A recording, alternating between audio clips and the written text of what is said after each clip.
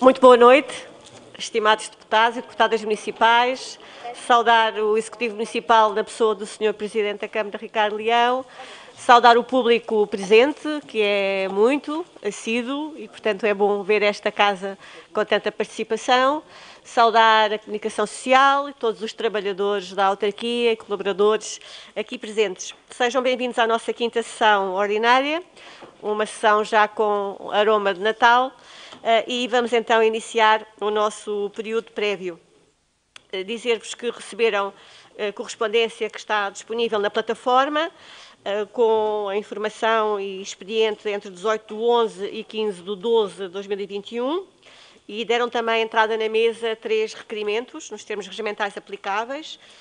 Um requerimento pelo Sr. Deputado Municipal do Bloco de Esquerda, Rita Laches Rico, relativo, a rupturas de água no Prior Velho e dois outros, requerimentos pela Sra. Deputada Municipal Soraya Branco Osman, do PAN, relativos à aplicação de herbicida uh, sintético na, vida, na, via pública e também sobre o fornecimento e qualidade de refeições e refeições vegetarianas nos equipamentos escolares do município de Lourdes. Portanto, três requerimentos que uh, foram reencaminhados para o Executivo e que serão respondidos nos períodos regimentais uh, aplicáveis.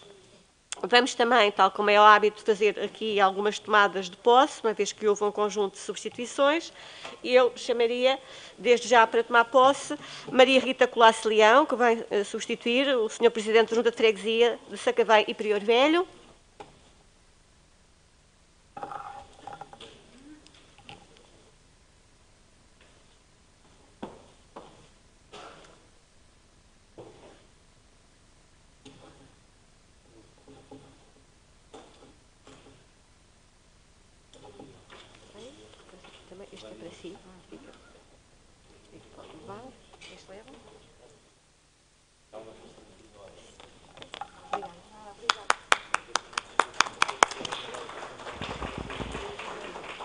Depois temos uh, Catarina Joana Teresa Cardoso Feitor Almeida.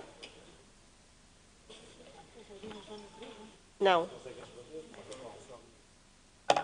Joana Teresa Cardoso Feitor de Almeida, que vem substituir o Sr. Presidente da Junta de Freguesia, Bobadela.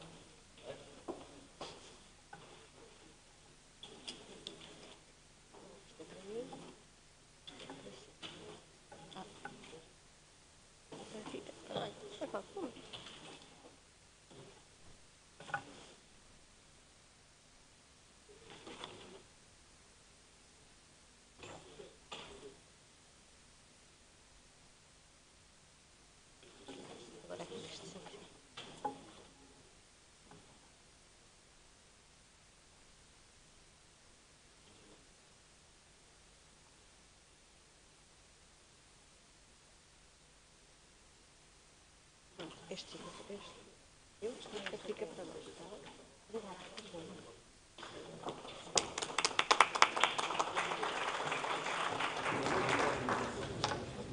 Temos de seguida a Catarina Alexandra Soares Lopes, em substituição de Bernardo Matias Barbosa.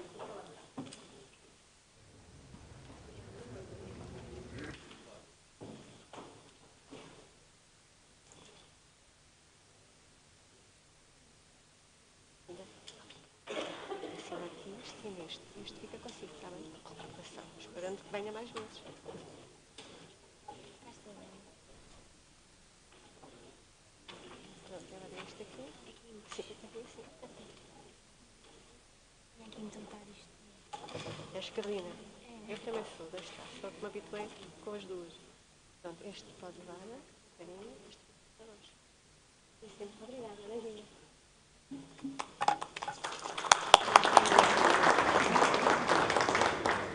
Temos depois Vítor Hugo Batista Cacito, em substituição da Sra. Deputada Patrícia Morgado de Almeida, do Chega.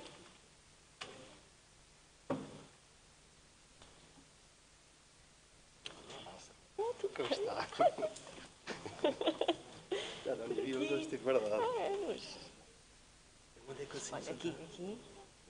E este fica para si, que é um termo de posse, não é?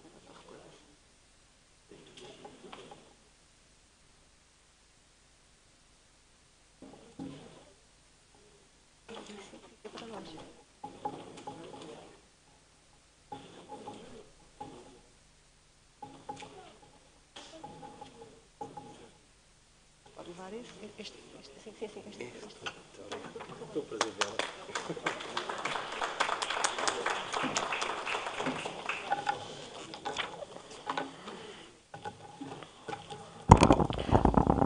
Muito bem, feitos então aqui os termos de, de posse e as substituições devidas, Vamos entrar no período antes da ordem do dia, mas queria eh, solicitar-vos, e fizemos conferência de medidas para esse efeito, que pudéssemos fazer uma reordenação dos pontos da nossa ordem de trabalhos e que o ponto relativamente à gestão financeira e à atividade municipal pudesse ser colocado no término da nossa ordem de trabalhos, eh, porque de facto tem sido sempre essa tradição aqui em Loures e porque também era fundamental que pudéssemos, nesta sessão, eh, tratar do pacote fiscal e, se conseguíssemos também, fazer as votações, que, como podem ver, têm aí as urnas relativas aos nossos atos uh, eleitorais, para conseguirmos ter todos os senhores deputados municipais e representantes da Assembleia Municipal nos órgãos e nos conselhos municipais devidos. Colocava, então, à votação esta reordenação do ponto, quem vota contra, quem se abstém. Ele é aprovado por unanimidade e agradeço mais uma vez também à Conferência de Líderes uh, esta posição e este, este consenso sempre importante para o funcionamento dos nossos trabalhos. Agora sim, iniciamos o nosso período antes da ordem do dia e chegaram à mesa 11 documentos para admissão e votação nesta presente reunião. Perguntávamos então se os podemos admitir e admiti-los em bloco. Quem vota contra a admissão, quem se abstém, quem vota a favor, os 11 uh, documentos, recomendações, emoções e, e votos estão então admitidos por unanimidade. Começaríamos então pela ordem de entrada da mesa do primeiro documento. É uma recomendação apresentada pelo Chega para a implementação do processo de reconversão das áreas urbanas de género ilegal, AUGES, e eu eh, pedi então ao Chega para apresentar o ponto. Senhora Presidente da, da, da, Assembleia, em seu nome, cumprimento os demais. Eh, relativamente aqui à nossa, à nossa recomendação, as OGs é um, é um problema, portanto, e é, um, é, uma bandeira nossa, tal como do atual Executivo. Eh, aproveitando também a prorrogação que houve eh, do prazo para a legalização das mesmas, nós sugeríamos e recomendamos ao, ao, ao Executivo que, de facto, esta reconversão das aulas seja uma prioridade, uh, conforme o referido na, em campanha eleitoral, que a aplicação do, do, processo em si seja mais eficaz e, eficiente, simplificando-se dentro dos possíveis a desburocratização do processo, para que os habitantes vejam os processos conclu, concluídos, uh, e recomenda ainda ao Partido Chega a elaboração do relatório trimestral ou semestral do processo de regularização em, em, curso, de forma a que se possa fiscalizar com rigor o trabalho desenvolvido quer pelo Executivo, quer pelos grupos de trabalho já existentes. Muito obrigado. Muito obrigada, Sr. Deputado. Perguntava se há alguma inscrição para discutir este ponto. O Sr. Deputado do Partido Socialista, Tiago Abada.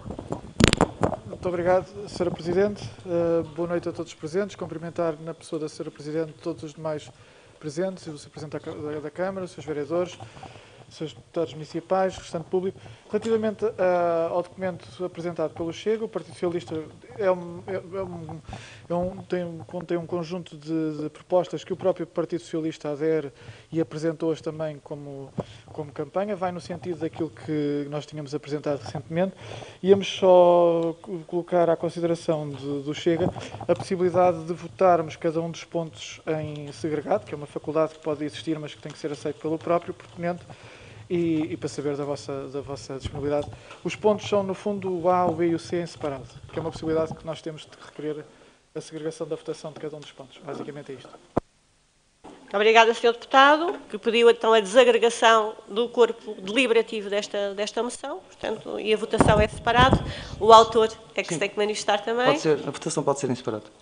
Aceita então a desagregação dos pontos. Mais intervenções sobre este ponto? Senhor, senhor Vereador, Senhor Presidente da Câmara. Presidente, muito obrigado. Antes de mais, muito boa noite a, a todas e a todos. Uh, se, com a sua licença, passava aqui a palavra ao Sr. Vereador Nuno Dias. Bem, com a autorização do Sr. Presidente, Sr. Vereador Nuno Dias. Muito obrigado, Sr. Presidente, Sra. Presidente, mesa, caras e caros deputados municipais, técnicos e quem está a assistir, uh, a todos uma muito boa noite. Bem, relativamente a esta matéria, não é, não, é, não é aqui nenhuma novidade que uma das prioridades do Partido Socialista, quando se apresentou a votos no passado dia 26 de setembro, que era de facto dar um, um outro impulso e uma outra dinâmica e tentar criar novos mecanismos para que pudéssemos, de uma, de uma vez por todas, regularizar uh, no máximo possível o, o problema das algas. Nós estamos a falar de um problema que, de facto, é um problema crónico no nosso Conselho. Basta dizermos que mais de 30% da nossa população atualmente mora em Auges. Dizer-vos que, eh, e, e, dar esta nota que também é importante que fique na retina, que nós temos um processo de Auges que já se prolonga há imenso tempo. Uh, prolonga-se há tanto tempo e, e dar-vos só aqui nota que alguns dados são importantes para, para, para percebermos do que é que estamos a falar e para percebermos também que a importância que o Partido Socialista dá nesta administração, como deu em outras administrações, uh, para esta solução.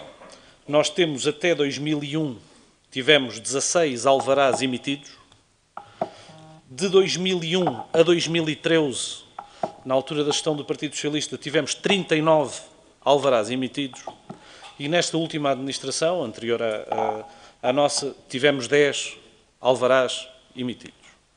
Basta olhar para esta diferença uh, para vermos que, de facto, o Partido Socialista tem por hábito imprimir outro ritmo e outra dinâmica que no que diz respeito à regularização destes processos, que em muito influem a necessidade de podermos também credibilizar este mesmo processo, credibilizar uh, estes projetos, porque não, é, não, não faz sentido nenhum nós estarmos a falar por vezes perante uma plateia que está com este problema há mais de 40 anos e que as soluções que aparecem são sempre uh, soluções de fogacho. Uh, aquilo que nós queremos, e, e é responsabilidade e é compromisso também deste Executivo Municipal, é tudo fazer para que possamos, de uma forma clara, objetiva e também transparente, podermos solucionar muitos destes casos que agora parecem uh, insolúveis, pelo menos nesta, nesta fase. Dar aqui também uma nota que uh, o Chega chegou a esta, uh, a esta Assembleia fazendo esta proposta, mas chegou tarde, considerando tudo aquilo que eu disse atrás, que de facto o Partido Socialista já deu provas e já deu messas nesta matéria e aquilo que quer, e de uma vez por todas, é avançar ainda mais neste projeto, avançar ainda mais, mesmo que para isso tenha de investir nos loteamentos, fazer as obras necessárias para, essas urbanizações se efetivarem, para podermos de uma vez por todas dar condições para que os nossos municípios e aqueles para quem qual nós trabalhamos possam resolver esse problema e não passar essa herança, que seria uma herança muito negativa para uh, os seus filhos, para os seus netos, porque muito, o que estamos a falar muitas vezes é isto é que aquilo que está a acontecer agora é que já estamos a ultrapassar pelo menos duas gerações com este problema uh, efetivo. Portanto, uh, dar só mais uma nota e muito, e muito rapidamente também uh, dizer que, de forma clara, que toda a informação que é aqui solicitada no último ponto, ela mesmo já é prestada nas prestações de contas, quer na informação escrita do Presidente, quer na, informação, na prestação de contas uh, anual. Essa informação já existe, portanto, uh, julgamos que pode haver aqui alguma redundância a pedir o mesmo para fazer um relatório extra disso, Sr. Presidente. Muito obrigada, Sr. Vereador, pela explicação aqui dada e pelo ponto de situação. Não, Sr. Deputado Bruno Simão. Boa noite, Sra. Presidente da Assembleia, Srs. membros da mesa, Sr. Presidente da Câmara, Srs. vereadores, eh, caros representantes e a quem nos, nos assiste. Uh, nós damos com muita atenção a esta proposta e fizemos, aliás, um trabalho de pesquisa de posições do Chega sobre esta grande bandeira que são os, as auges. E uh, não encontramos nenhuma. Não encontramos nenhuma. É, é, é uma, há bandeiras, há bandeirolas, há bandeirinhas e há bandeiradas, que é o caso. Uh, nós uh, não temos, não pedimos messas a ninguém em relação à preocupação que temos com os, com os bairros de gente ilegal. É uma realidade que conhecemos muito bem neste território, conhecemos muito bem a sua gente, que não é aquela que está descrita neste documento. Conhecemos bem a complexidade da resolução destes processos, conhecemos bem a dificuldade legal que existiu até 91 em ter um instrumento legal que fosse, ainda que insuficiente, para que os proprietários pudessem começar a tratar destes processos em conjunto com as autarquias locais e conhecemos bem a dificuldade que ainda hoje existe com o enquadramento legal que a Assembleia da República tende em manter, tal como foi criada em 91, todos os constrangimentos que impendem sobre os proprietários em relação às regras, aos procedimentos e aos custos que sobre eles impendem para poderem levar a cabo estes processos de recuperação. Dizer neste texto que durante 40 anos houve o abandono dos bairros de género ilegal, que era assim que se chamavam na altura, os bairros clandestinos, é uma pura falsidade. Foi muito longo o trabalho, em que muitos dos que estão nesta sala participaram, alguns ainda jovens autarcas, na criação de condições de habitabilidade em todos estes espaços. Em tudo aquilo em que foi possível as populações, os moradores e as autarquias avançar, mesmo sem instrumentos legais para o fazer, muito foi feito. No abastecimento de água, no saneamento básico, na criação de zonas verdes, de equipamentos coletivos, de acessibilidades, um, um trabalho imenso. Mas, de facto, é uma justa aspiração das pessoas verem a divisão fundiária resolvida como deve ser, os alvarás emitidos e a abertura da possibilidade da legalização dos seus imóveis. Porque, de facto, são muitas gerações com este problema. E é, um, é, é, uma, é uma vergonha, é uma vergonha que ao longo deste tempo todo a Administração Central nunca tenha encarado este problema como um problema de habitação no qual tinha que intervir positivamente, até criando mecanismos de apoio aos proprietários para que eles pudessem ultrapassar a situação em que caíram porque na altura puseram mãos ao trabalho para resolver a completa ausência de oferta de habitação. E muitos tiveram este espírito de iniciativa que deve ser valorizado.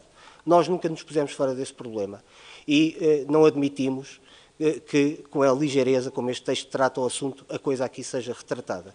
Mas mais, aquilo que durante muito tempo inquinou estes processos foi a sua instrumentalização do ponto de vista político e eleitoral em que muitas vezes prometeram às pessoas facilidades que não existiam. O Partido Socialista, que aqui nos disse que isto era a sua paixão como a educação foi noutros tempos, ignora que nos anos 90 dizia às pessoas que isto se resolvia com uma folha A4 e que era uma questão de vontade política de quem governava o município.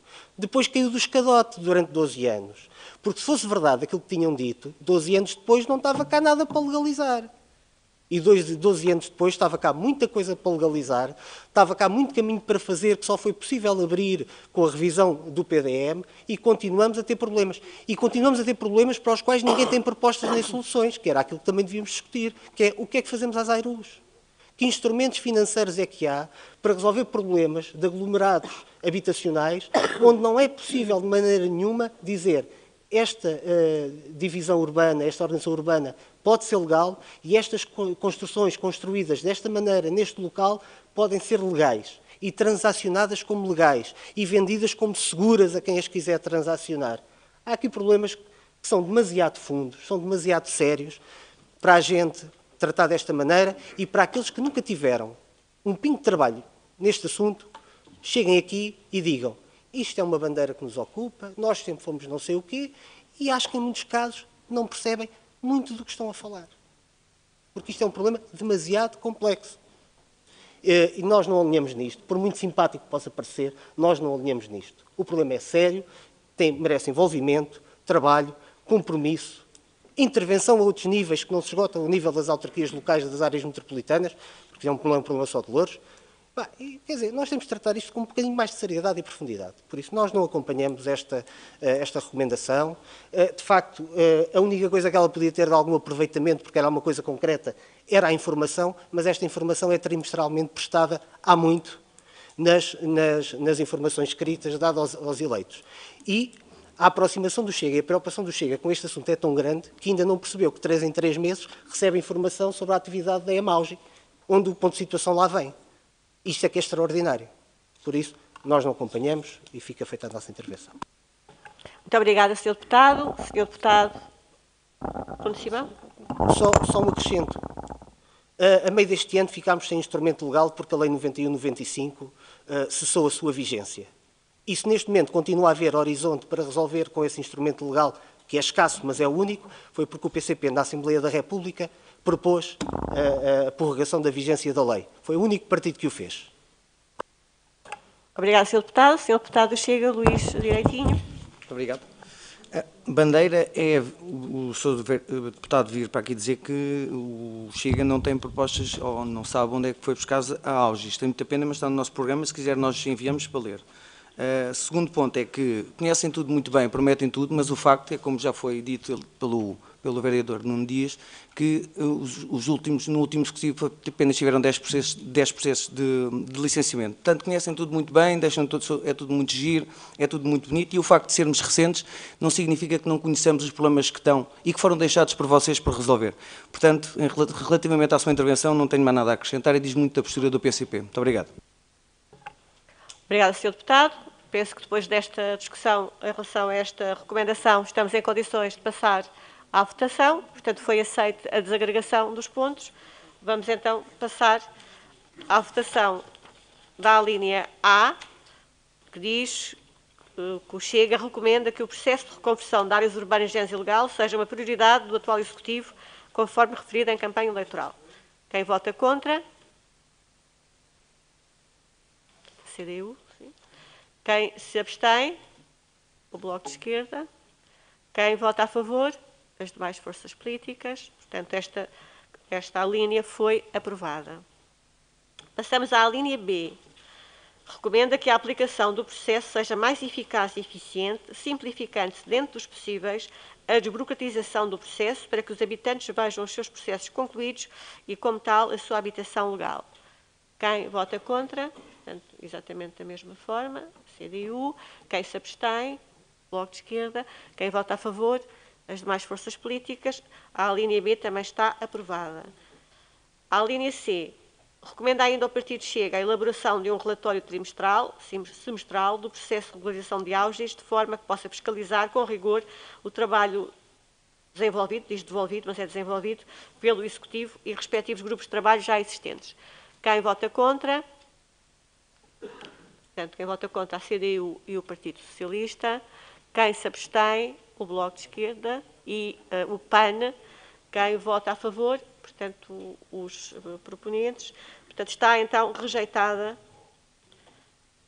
a linha C. Portanto, é aprovada a recomendação apenas com a linha A e a linha B e é expurgada a linha C.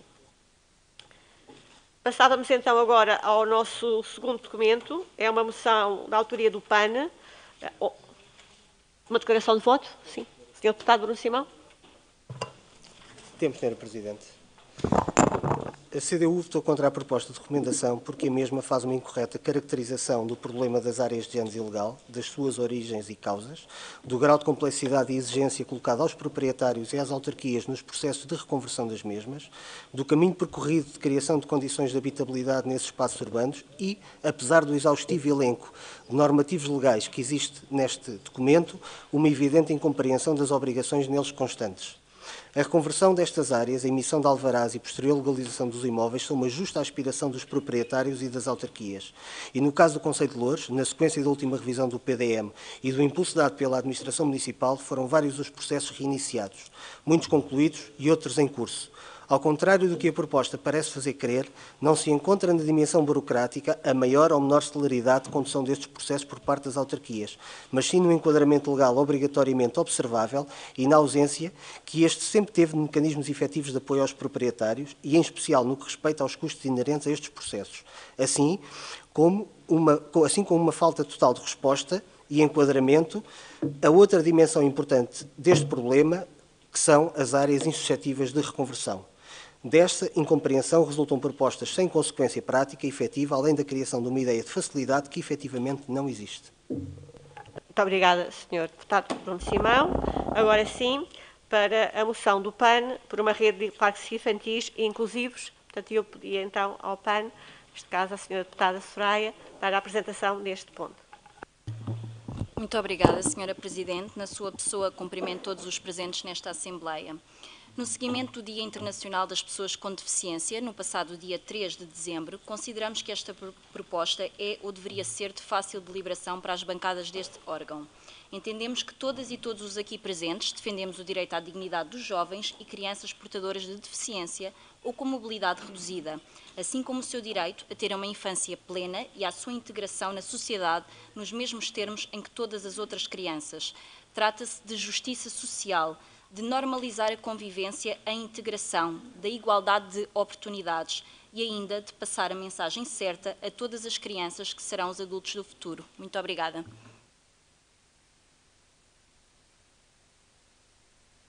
Muito obrigada, Sra. Deputada. Perguntava então se existem inscrições sobre este ponto. Não registro nenhum pedido de, de inscrição, significa que querem passar de imediato à votação do mesmo. Vamos então votar a recomendação do PAN para esta rede de parques infantis inclusivos. Quem vota contra? Quem se abstém? É aprovado por unanimidade uma rede de parques infantis inclusivos no nosso Conselho de Lourdes, com os, as recomendações aqui efetuadas pelo PAN. Há alguma declaração de voto? Senhora Deputada Tânia Mateus. Muito boa noite, Sr. Presidente, Srs. membros da mesa, boa noite ao Sr. Presidente da Câmara e aos restantes membros do Executivo. Uh, reconhecendo a importância de tornar o espaço público e os equipamentos públicos acessíveis a todas as pessoas, não tanto com a preocupação do turismo inclusivo, mas como a recomendação refere, mas pelo princípio de assegurar um direito uh, que é prosseguido por políticas públicas de inclusão. Estamos de acordo com a proposta de intervir nos parques, até porque está em consonância com o trabalho do anterior Executivo. Não dissociamos esta proposta e o nosso sentido de voto do extenso trabalho do anterior Executivo CDU na Câmara de Loures ao promover os projetos de revitalização urbana, como por exemplo da cidade de Loures, intervindo no espaço público, como por exemplo nos passeios e no piso confortável, tornando-o mais acessível, bem como a concretização das primeiras fases do Loures Acessível, que consubstanciava com o acesso aos espaços públicos e equipamentos públicos de pessoas com mobilidade reduzida e para todas as idades. Importa assim prosseguir um trabalho de intervenção no espaço público mais, mais acessível, consistente com o trabalho iniciado no mandato anterior. Obrigada. Muito obrigada, Sra. Deputada. Sr. Presidente Junta, para uma declaração de voto. Muito bem. Sr. Eh, deputado Municipal Tiago Amado, para uma declaração de voto. Palavra se, se, se o Sr. Presidente de Junta não intervém, eu intervenho eu em relação à declaração de voto e, portanto, se me Obrigado.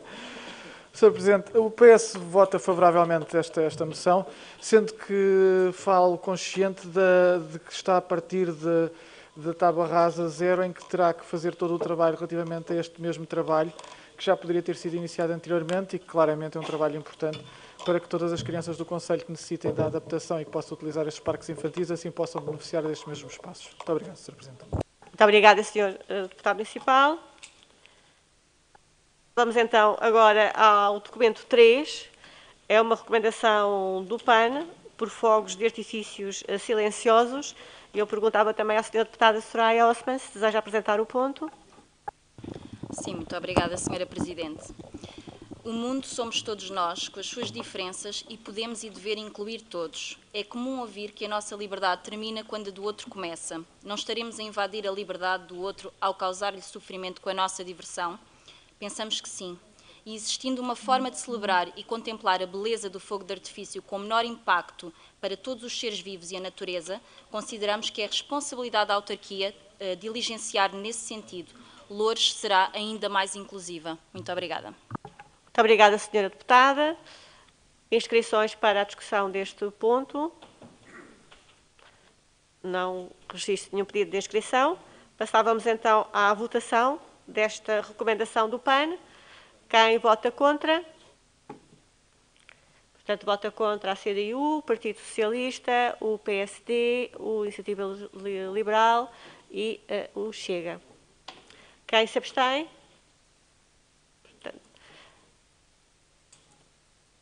Abstenções? Quem vota a favor? Portanto, o Bloco de Esquerda e o PAN. Portanto, esta recomendação está então rejeitada. Declarações de voto sobre esta recomendação? Não registro. Passávamos então ao ponto 4. É um voto de saudação do Partido Socialista relativo à taxa de abandono escolar que atingiu o mínimo histórico. Quem deseja apresentar este voto por parte da bancada do PS? Senhora Deputada Tânia Portela. Boa noite, Senhor Presidente. Um, a mesa, boa noite à mesa, Senhor, Senhor Presidente da Câmara, Senhores Vereadores, Senhores Deputados, uh, técnicos e público em geral. O Partido Socialista queria apresentar um voto de saudação relativamente à taxa de abandono escolar uh, e aos mínimos históricos atingidos no, nos últimos anos. Depois, em 2020, Portugal ter registrado um mínimo histórico de 8,9, superando a meta de 10% contratualizada com a União Europeia para esse ano, a taxa de abandono precoce de educação e formação registrou uma nova redução ainda mais significativa em 2021, tendo alcançado 6,5 nos dois primeiros trimestres e um novo mínimo histórico de 5,2 no terceiro trimestre. Situamos-nos assim claramente como o país europeu com melhor evolução deste indicador nas últimas duas décadas. Entre 2015 e 2020, a taxa de abandono escolar apresentou um decréscimo de 35% em Portugal, enquanto a União Europeia, no seu conjunto, a quebra registrada foi de apenas 8%. Os dados destes primeiros nove meses apontam também para um valor anual de 2021 na ordem dos 6%, sendo que apenas seis países da União Europeia registraram taxas de abandono abaixo desse valor em 2020. Os dados da realidade nacional são reportados pelo INE de acordo com uma metodologia uniformizada em todos os países europeus pelo Eurostat, o que garante a comparabilidade dos resultados. Cabe lembrar que a taxa de abandono da educação e formação tem sido o principal indicador a nível europeu da evolução dos sistemas educativos, uma vez que é reconhecida a sua centralidade nas sociedades de hoje para a competitividade económica, a coesão social e a igualdade de oportunidades. Estes são resultados que traduzem a eficácia de programas e medidas que convergem num esforço continuado para garantir sucesso educativo e melhores aprendizagens, dos quais se destacam Programa Nacional de Promoção de Sucesso Escolar, a abordagem integrada à educação inclusiva, a aposta na diversificação de ofertas, com destaque para o ensino profissional, autonomia e flexibilidade curricular, que conferem às escolas poder de decisão e de adequação de estratégias, bem como medidas concretas de apoio aos alunos. Exemplo disso são o apoio tutorial específico ou medidas de promoção de literacias múltiplas, como as promovidas pelo Plano Nacional de Leitura e a Rede de Bibliotecas Escolares. O esforço conjunto das escolas e do Ministério da Educação para que nenhum aluno ficasse para trás, em particular no contexto pandémico, tem expressão significativa neste compromisso com a educação de qualidade para todos. Para que o futuro dos nossos jovens seja mais risonho, devemos unir esforços, partilhar experiências e definir medidas e estratégias para cada vez mais termos uma escola de todos, com todos e para todos. A Assembleia Municipal de Louros, reunida em sessão em 16 de dezembro, delibera. Ponto A. Saudar as comunidades educativas, em particular os professores, os psicólogos escolares e demais técnicos especializados, por mais este sucesso do sistema de educação e formação. Ponto B. Insta o Estado português e o Ministério a prosseguir este caminho, nomeadamente através do aprofundamento de várias iniciativas que se têm traduzido em resultados positivos no combate ao abandono. E ponto C. Convoca o Executivo Municipal a implementar medidas que apoiem a redução destas taxas, em particular do insucesso escolar, numa cultura de proximidade e estreita articulação para com a nossa comunidade educativa. Muito obrigada. Obrigada, Sra. Deputada. Inscrições em relação a este voto de saudação? Não registro. Passamos então à votação. Quem vota contra? Iniciativa Liberal. Quem se abstém? Quem vota a favor? As demais forças políticas. Este voto de saudação sobre a taxa de abandono escolar é aprovado por maioria. Declarações de voto. Senhor Deputado Municipal Pedro Almeida. Muito obrigado, Sra. Presidente. Em primeiro lugar, cumprimentar todos os, todos os presentes aqui na sala e aqueles que também eu pedia só se pudesse falar com a máscara, se conseguir, máscara, se não for muito difícil para si. Vai ser complicado, mas, mas, mas, mas vou tentar. Obrigada. Um, isto, isto coloca-nos aqui realmente numa, numa posição delicada de votar contra este voto de saudação. Mas, efetivamente, no texto, logo na parte inicial, um, refere o período temporal entre 2015 e 2020. Propositadamente, uh, estão-se a esquecer do período onde esta redução até foi maior. Se forem consultar os dados, veem que a, a redução, a maior... Não, estou a explicar... Uh, estou a explicar porque é que votamos, não é uma declaração de voto, porque estou a explicar porque é que estamos a votar contra. Estou...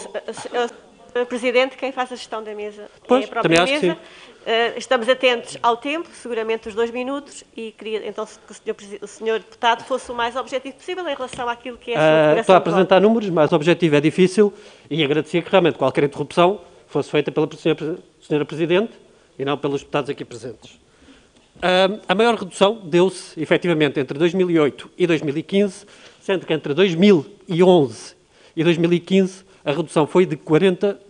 Uh, portanto, uh, para, para, para, sermos aqui honestos nesta avaliação, porque aqui estou a fazer depender desta redução a eleição do governo socialista em 2015 e propositadamente estão-se a esquecer de todo o período anterior. Portanto, até faço aqui uma recomendação ao PS, para se realmente quisermos ser intelectualmente honestos, de incluir Senhor todo o deputado, período. de facto está a fazer uma intervenção. A declaração de voto deve dizer um conjunto de considerantes e porquê é que vota co- contra Estou ou a votar contra porque, efetivamente e É isso. deliberadamente, ah, ignoraram o período onde até ah, o decréscimo foi maior. Muito Obrigado. bem. Obrigada, Sr. Deputado. Passávamos então agora ao documento 5. É um voto de saudação do Partido Socialista. Vacinação. Desculpa. Uma declaração de voto também da bancada do Partido Comunista. Muito obrigado, Sr. Presidente. Eh, aproveito para cumprimentar a mesa na sua pessoa, cumprimentar o Executivo Camarário, os membros das demais bancadas, bem como o restante público que nos assiste física e digitalmente. Ora, a bancada da CDU considera que, a confirmar-se então esta tendência da queda da taxa de abandono escolar para valores abaixo dos 8,9% verificados em 2020, esta evolução deve ser valorizada, sendo que se fica indubitavelmente a dever a algumas importantes medidas tomadas nos últimos anos, originadas na sua larga maioria em propostas da CDU na Assembleia da República, como a gratuitidade dos manuais escolares, a gratuitidade das creches e o alargamento da capacidade de oferta da rede pública de pré-escolar.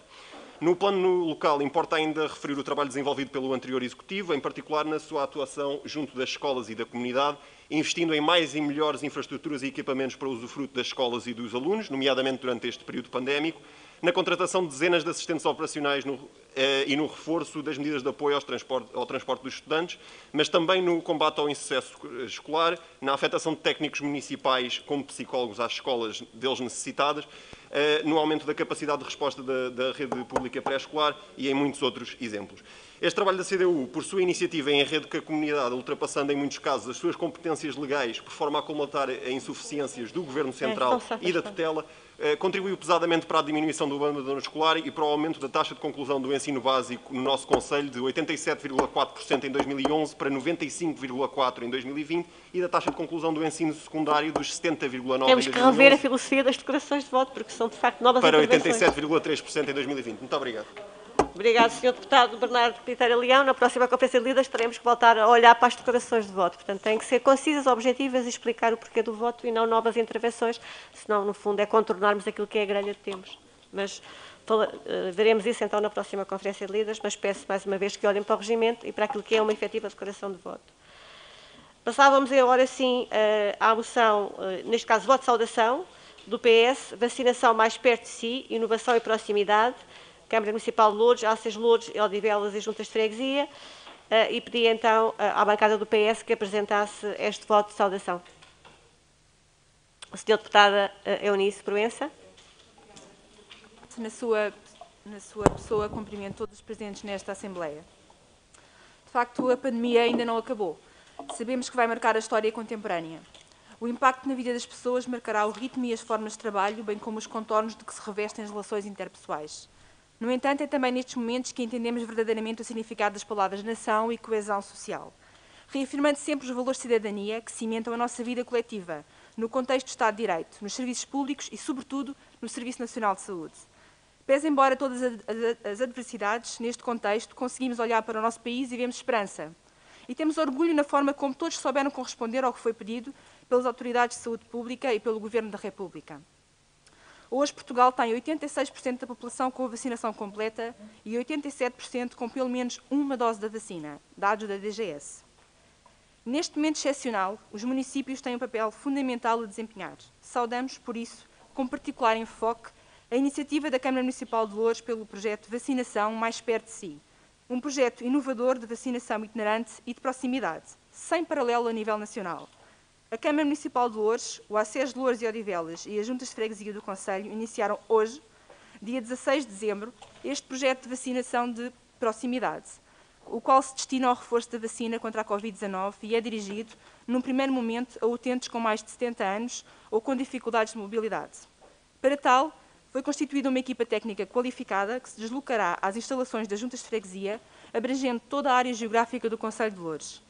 Por este motivo, os deputados municipais do Partido Socialista querem saudar a implementação deste projeto e os seus intervenientes, em particular a Câmara Municipal de Louros, que soube criar as sinergias necessárias para a sua concretização em prol do interesse público, não esquecendo o papel da ARS Lisboa e Val do Tejo, bem como o ACES de Louros e Odivelas e os seus profissionais, que souberam abraçar esta iniciativa e, mais uma vez, fazer jus à tradição de enorme empenho e nobreza de postura institucional em que se tem traduzido o trabalho do Serviço Nacional de Saúde, nomeadamente no plano dos cuidados de saúde primários.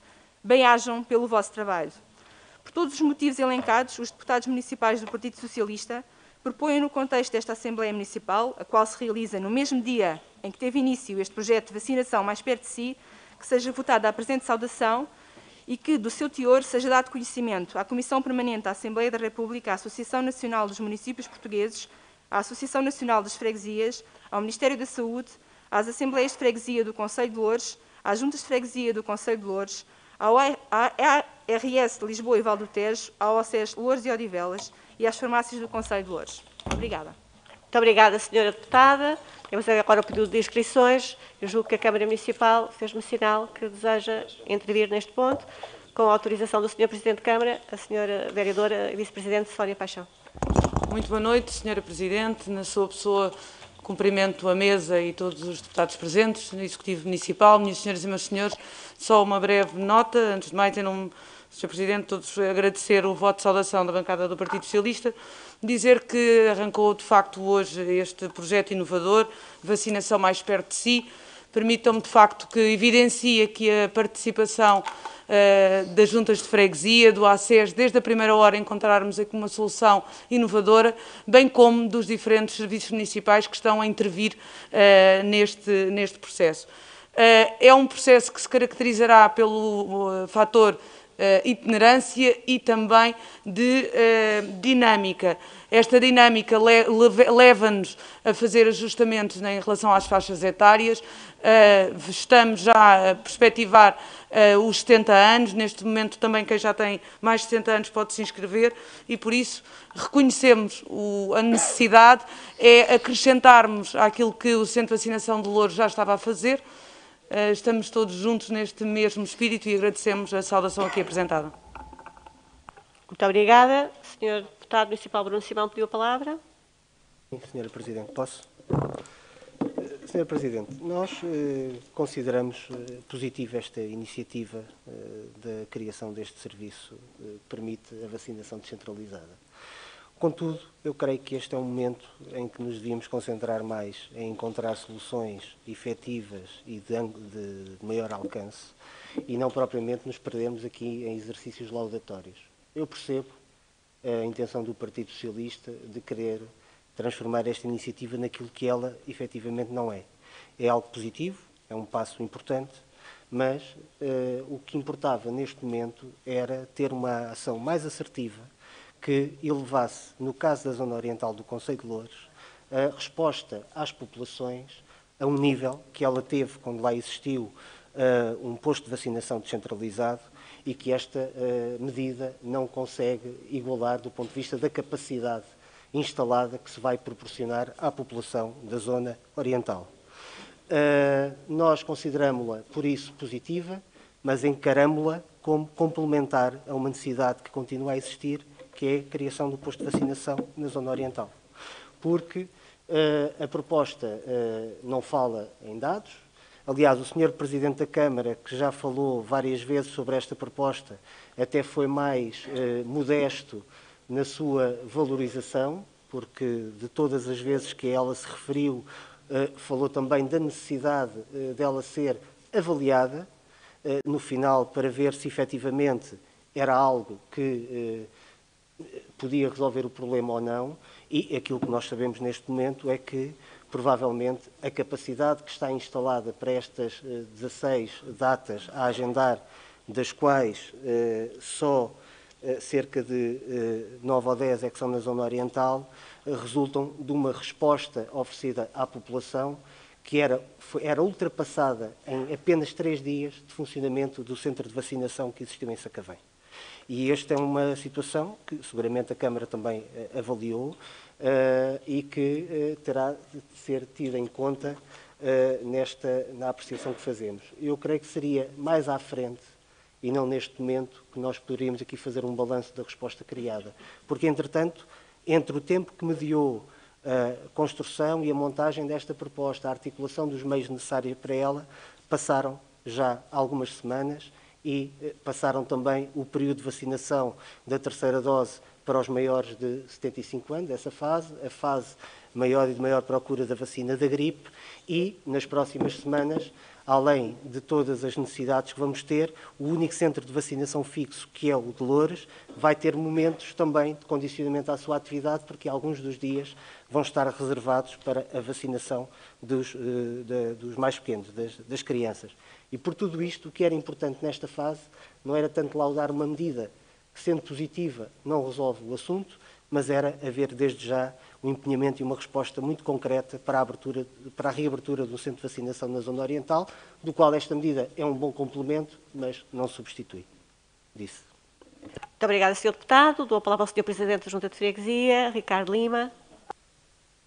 Muito obrigado, Sra. Presidente. Na sua pessoa, cumprimento todas e todos os deputados, assim como o Sr. Presidente da Câmara, eh, cumprimento os senhoras e senhores vereadores. Sr. Presidente, eu tenho dificuldade em saber por onde é que hei de começar depois desta intervenção. Em primeiro lugar, acho que fazer, exatamente, vou começar é para o início e mesmo para o início. Um, vou fazer, fazer o balanço daquilo que será esta resposta, parece-me que é prematuro, antes dela mesmo acontecer, estarmos já a dizer que ela não tem a capacidade de dar resposta de forma semelhante ao que daria um posto de vacinação na zona oriental. Parece-me que é prematuro.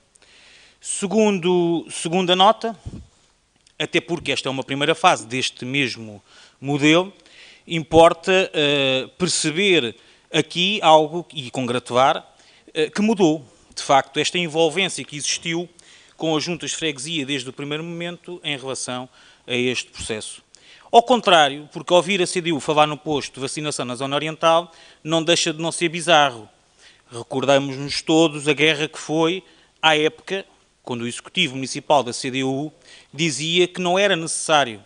E disse-o a mim, quer dizer, eu ainda tenho aqui, registrei as várias coisas que foram sendo, foram sendo ditas. Aliás, eu uma vez que o Sr. Presidente da Câmara anterior me, me chamou, que dizia que era dramatismo, dramatismo, dizia ele, e que estávamos a pôr o medo nas pessoas, dizendo que havia dificuldade e que não iria correr bem a, a proposta que fizemos à época também de abertura de um posto de vacinação da zona oriental do Conselho e que, por mais coisas que vocês possam dizer, e dizem, mas pronto, mas a gente faz de conta, alguns foram de conta que acreditam, se houve posto de vacinação da zona oriental do Conselho de Ouros no anterior mandato, deve-se única e exclusivamente às juntas de freguesia da zona oriental do Conselho de Ouros, que fizeram uma enorme pressão para que isso acontecesse, aliás, que até na comunicação social foi uh, amplamente divulgado.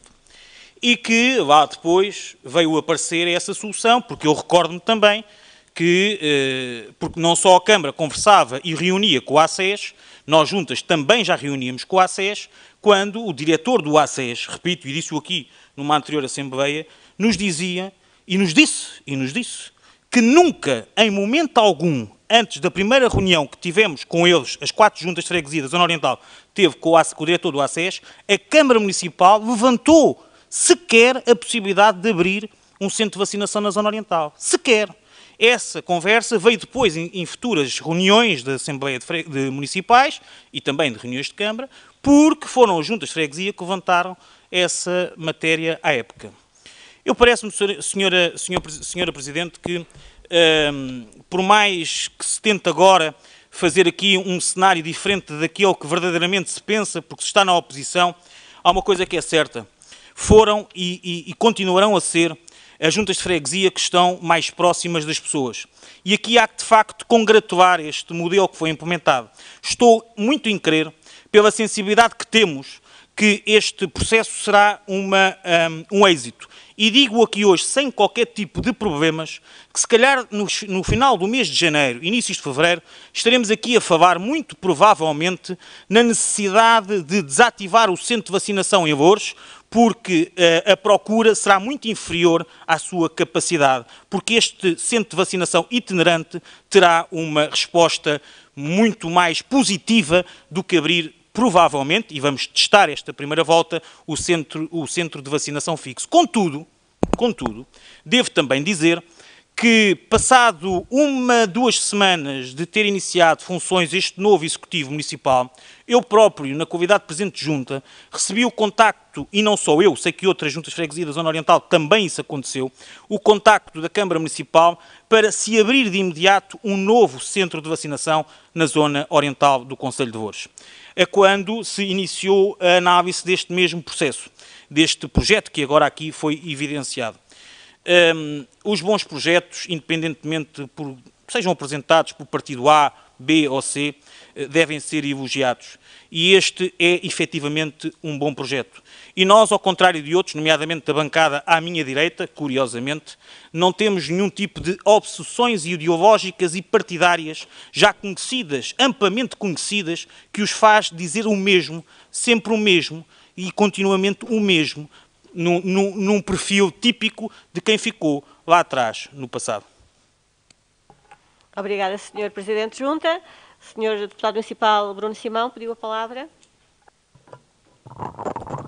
Sou é, muito breve para dizer que eh, o Sr. Presidente de Junta e todos nós aqui sabemos que à altura em que era necessário abrir o centro de vacinação em Sacavém, o ACES não tinha quaisquer meios para fazer. Quaisquer meios. E se ele abriu, foi porque a Câmara Municipal suportou os encargos para que ele eh, pudesse funcionar. Depois, gostava de perguntar. Muito bem, deixem o Sr. Deputado falar em condições audíveis. Eu não tenho aqui o registro para os apartes, como era a Assembleia da República. Depois, eu a ata não tem os apartes. Em relação à capacidade instalada, eu gostava de perguntar à Câmara Municipal se tem eh, informação que nos possa dar sobre qual é o limite de inscrição diário em cada uma destas, eh, destes dias. Porque nós sabemos que o centro de vacinação dava em média uma resposta, média, chegou aos 700, mas dava em média 450, 500 eh, por dia, o que existia em Sacavém. Por dia. Neste momento, esta resposta, com a capacidade que terá de recursos no terreno, por dia, qual é o limite máximo de inscrições que aceita? Ou de marcações? Era só essa pergunta que fazia. Muito obrigada, Sr. Deputado Municipal. Pergunto ao Sr. Presidente de Câmara se deseja neste momento também responder à mesma. Claro que sim. Com certeza. Muito bem. A palavra é sua. Sr. Presidente, eh, muito obrigado pela palavra. Eu vou ser muito breve, porque, aliás, há aqui uma moção, penso que ainda vai ser hoje discutida também da CDU, sobre a pertinência de, do pavilhão da Zona Oriental. E, portanto, eu vou-me reservar mais para essa matéria, nessa, nessa, nessa recomendação, nessa moção, mas dizer o uh, seguinte. Relativamente à questão da pertinência da abertura do pavilhão da Zona Oriental, dizer o seguinte. Olha, se as juntas de freguesia hoje têm conhecimento daquilo, qual é a posição da Câmara Municipal e do seu Presidente de Câmara, hoje têm conhecimento porque pela primeira vez participam nas reuniões do ACES porque anteriormente as juntas de freguesia não participavam nas reuniões do ACES com o município de Louros, nessas reuniões semanais. Eram vedadas à sua participação. E, portanto, é neste mandato que as juntas de freguesia, por direito próprio e por vontade minha, participam nas reuniões com o ACES. E por isso todas as juntas de freguesia, sejam elas de qual cor política for, têm acesso, têm conhecimento de qual é a posição da Câmara Municipal de Louros em todas as reuniões desde que este mandato iniciou. E por isso nenhum dos presidentes junto aqui presentes é capaz de me desmentir daquilo que eu vou dizer agora. Este processo de vacinação itinerante está montado e está idealizado para dar uma grande resposta a quem tem grandes dificuldades de mobilidade. Porque Bucelas é assim tão perto de Louros? Lousa é assim tão perto de Loures? Fanhões é assim tão perto de Loures? Ou também não merecem um tratamento com a mesma dignidade e a mesma proximidade? Para nós, merecem. A zona oriental foi dito por mim, e não há nenhum presidente junto que o possa desmentir, que o pavilhão, o, um espaço de vacinação da zona oriental estará sempre em equação depois de fazermos uma avaliação deste processo de vacinação. Com isto não quer dizer que acreditamos mais ou menos que desejamos maior ou menor sucesso a este processo de vacinação itinerante e de proximidade. É que fique claro que não está posto de parte e iremos equacionar, daqui a um tempo, essa necessidade. Agora, quanto aos meios, pois também não existem meios. É a Câmara Municipal que está a assegurar todo, todo o custo, quer do centro de vacinação de Louros, quer do centro de vacinação itinerante, este de proximidade. Mas dizer o seguinte, é um dado que a todos nós nos deve uh, levar a refletir. Sabe qual é a média de desistências no centro de vacinação de Louros, ou seja, de vacinações que estão lá, de vacinas que estão lá à espera das pessoas e depois já há desistências? De 30%. 30% é a média de desistências das pessoas na vacinação, no centro de vacinação de Louros.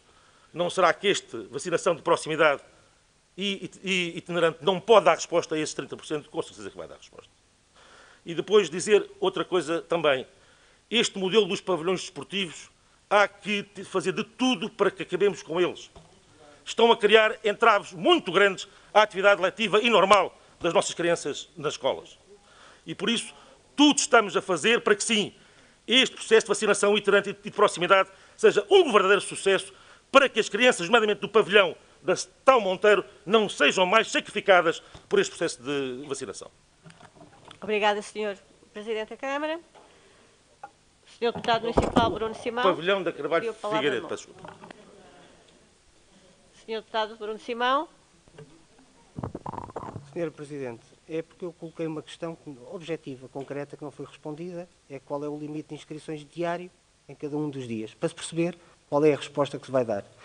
Depois, por mais que o Sr. Presidente se tenha esforçado por criar a ideia que nós somos contrários a esta iniciativa, esbarra na primeira frase da minha intervenção, que é nós consideramos esta, esta medida positiva no âmbito da complementaridade. Sob suposto fixo, funciona num pavilhão ou não?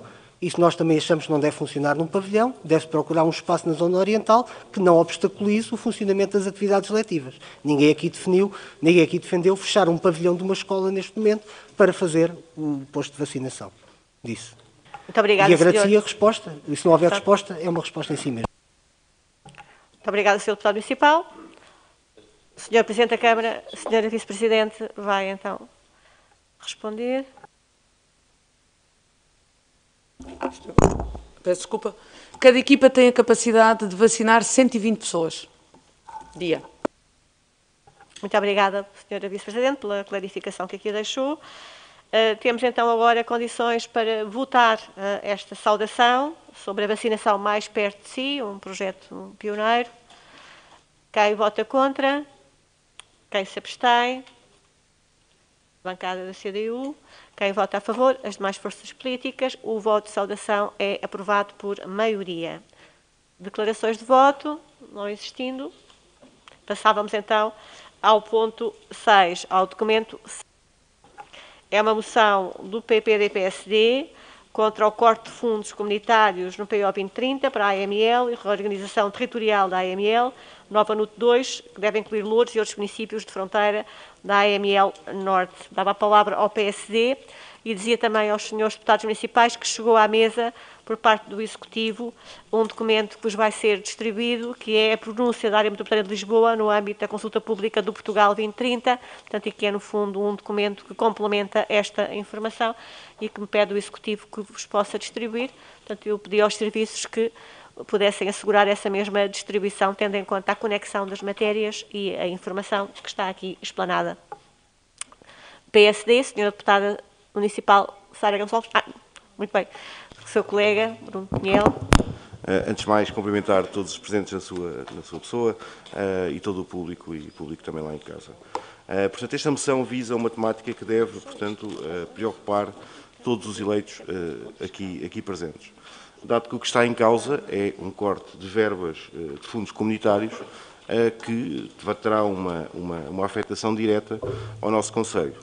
Eh, dado que, portanto, há uma redução muito significativa, para termos uma ideia, passam de 817 milhões de euros para 381 milhões, os fundos comunitários no âmbito do, do, do PO 2030 para a NUTS 2, que é justamente a área, a área territorial a que pertence o nosso município. Para além do mais, além da própria redução significativa das verbas, há também aqui uma outra questão que tem a ver com o cofinanciamento por parte da, que passa de, de 40%, de 50% uh, para 40%. Uh, ou seja, há uma obrigatoriedade para, para obtermos estes fundos comunitários, de, em vez de metermos 50%, se 40% temos que meter 50%. Portanto, há aqui também esse agravamento. Por isso, acho que deve ser uma temática que, que deve preocupar todos os aqui presentes. Muito obrigado, Sr. Presidente. Muito obrigada, Sr. Deputado Rui Pinhel. Inscrições para a discussão desta moção. Não registro. Passávamos então à votação da mesma. Quem vota contra... Não sei se o Sr. Presidente quer usar a palavra neste ponto, também já está com muito pouquinho tempo. Com, algum, com alguns segundos, sim. Sim, Sr. Presidente. Presidente, não só dizer, já que com pouco tempo tenho, só dizer que a posição comum sobre esta matéria que os presidentes da Câmara, das câmaras municipais da área metropolitana de Lisboa tomaram e do qual eu, eu próprio participei nela e concordei e assinei. Portanto, pedi a que a Sra. Presidente da Assembleia Municipal que desse dar conhecimento dela para a melhor uh, decisão de todos. Muito obrigada, Sr. Presidente. Assim está a ser feito. Agora sim, passávamos à votação da moção. Quem vota contra? Quem se abstém? A moção é aprovada por unanimidade.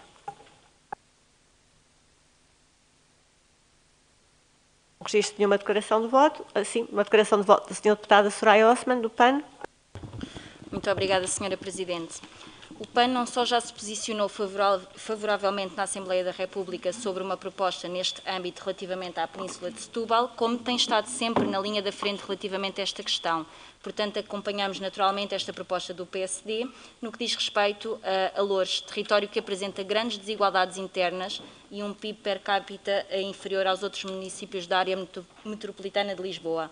Era importante que o Executivo, independentemente das questões político-partidárias desta proposta, procurasse fazer o mesmo percurso e trabalho que os municípios de Setúbal têm feito para atingir este patamar, pondo em primeiro lugar os interesses dos lourenços através do acesso a mais e melhores taxas de cofinanciamento comunitário este percurso deve ser replicado, nomeadamente no que diz respeito à pressão por parte do município, junto dos órgãos do poder central, sempre com apoio em estudos de base científica e registros que deem suporte e força a esta ideia. Alternativamente, e a curto prazo, esta injustiça deverá ser, no mínimo, minorizada, fazendo uso dos mecanismos de compensação por via do Orçamento do Estado. Obrigada. Muito obrigada, Senhora Deputada. Temos agora, são 22 e 20, portanto vamos iniciar só o documento 7 e temos de dar a palavra depois ao público. O documento 7 é uma recomendação do PSD sobre viaturas elétricas e eu dava então a palavra agora sim à Sra. Deputada Municipal, Sara Gonçalves.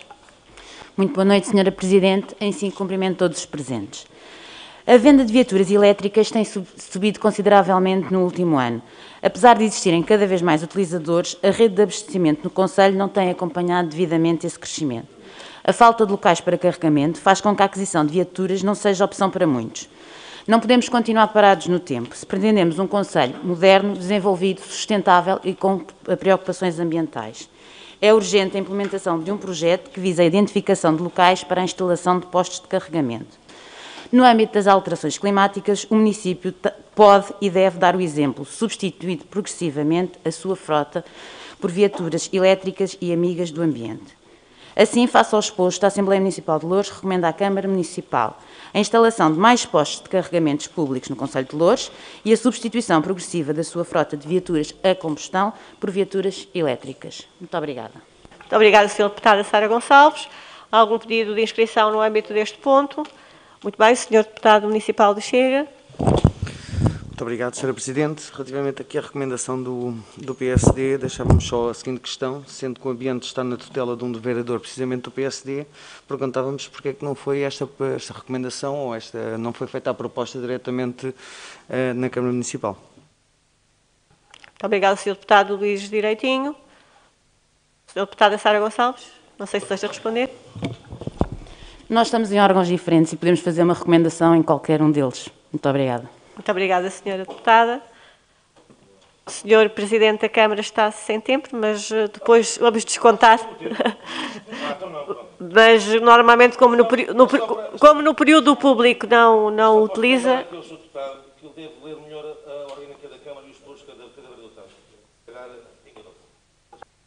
Muito obrigada, Senhor Presidente.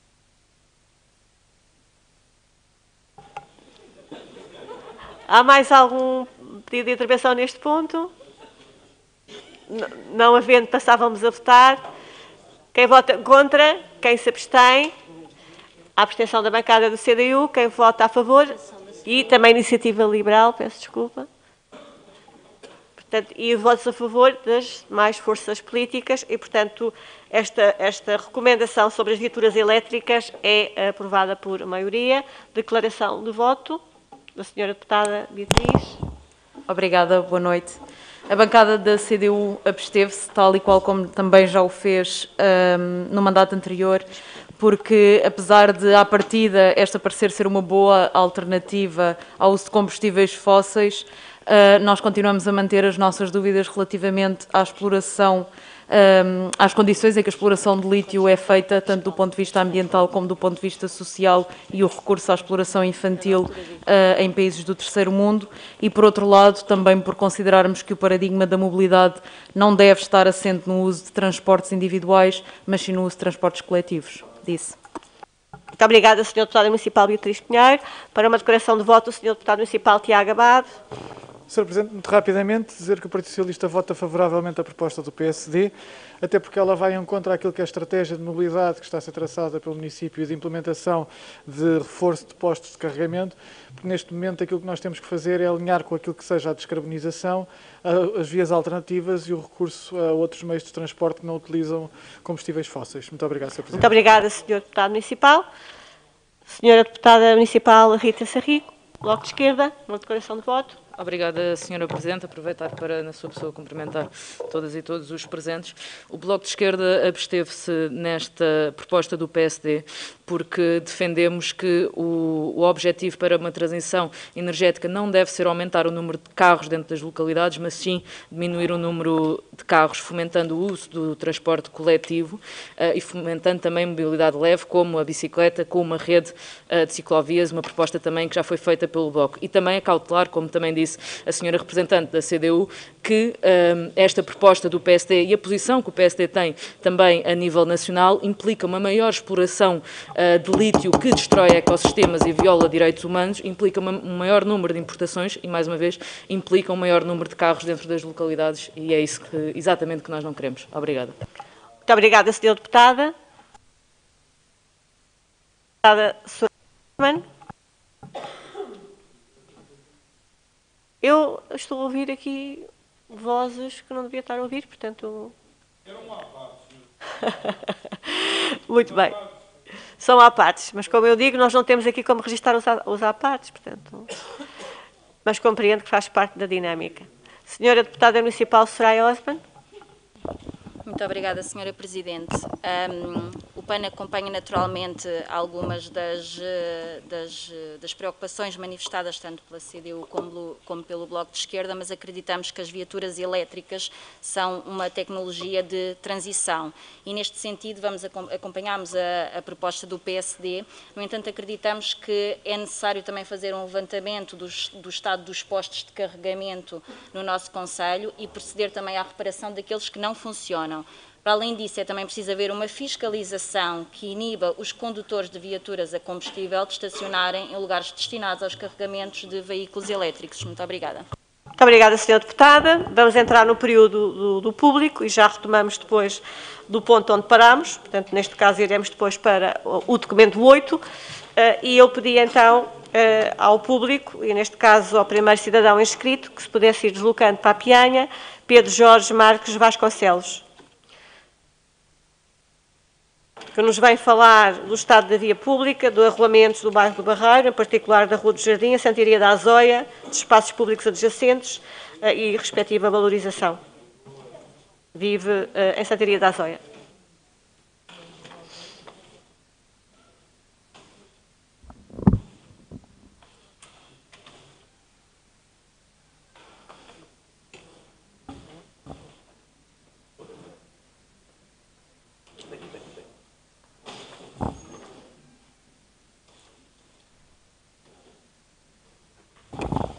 Muito boa noite e seja bem-vindo a esta Assembleia Municipal. Muito boa noite, Sr. Presidente.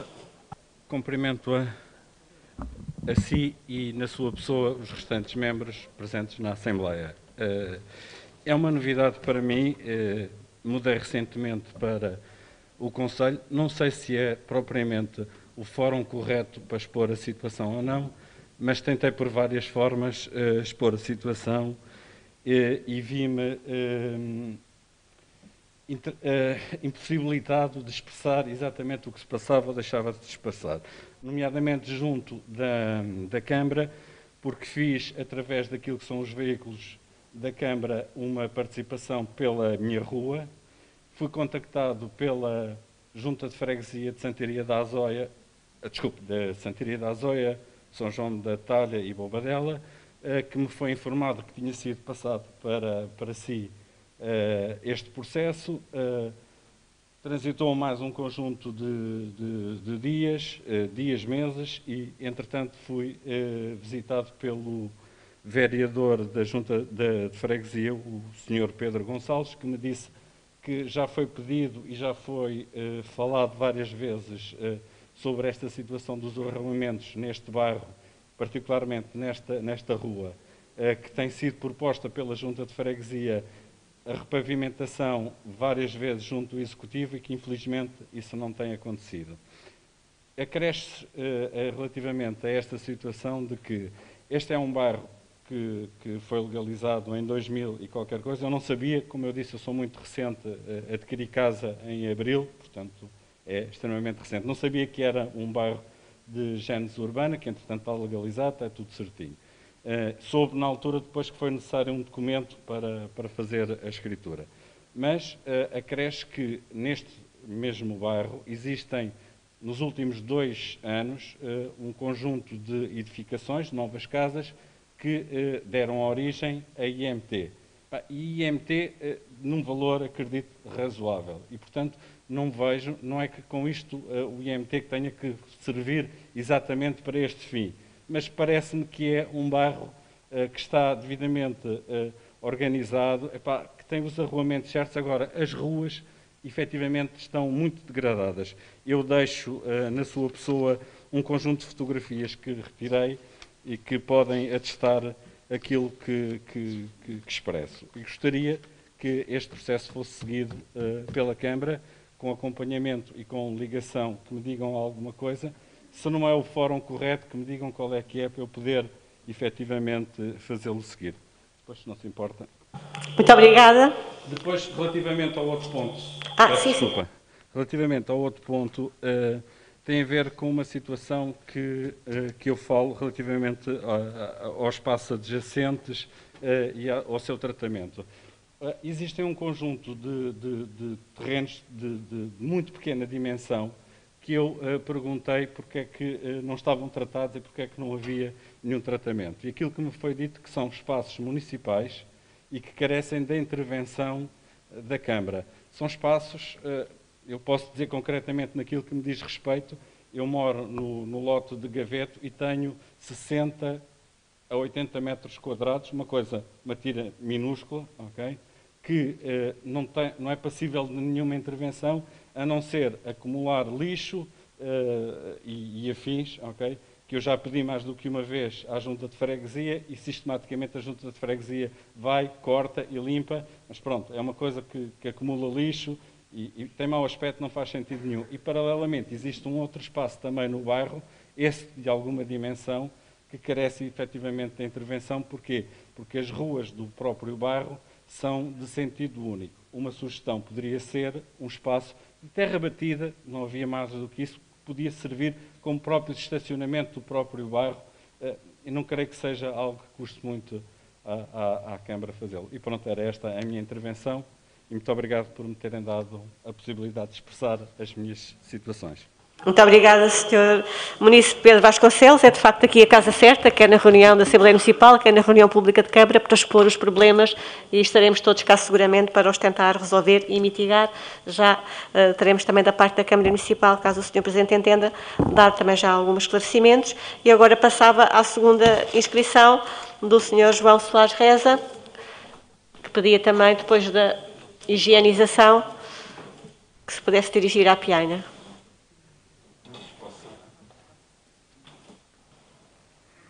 O Sr. João Soares Reza vem-nos falar hoje do edifício Palácio Marqueses da Praia, das condecorações municipais, do apoio à comunicação social regional e seu regulamento, do TUJAL e novas oportunidades da competência da Câmara.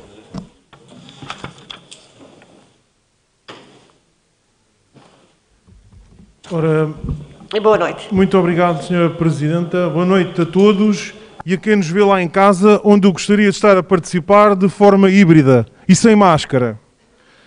Ora, a Câmara de Louros recordou aqui, recordou José Saramago, também eu, eh, com o meu livro autografado por ele, aqui está, portanto, ele até fez aqui uma brincadeira para a Biblioteca Pessoal José Saramago, à espera do próximo livro. Foi há 20 anos. Aqui fica. Em relação ao edifício Palácio, Palácio Marqueses da Praia, já foi resolvido o problema do público, colocaram o corrimão nas escadas. Mas eu pergunto é, na zona central, aqui na zona central, nesta escadaria, eu sei que a prioridade são as pessoas, mas também para os eleitos, falta. Isso é simples de resolver.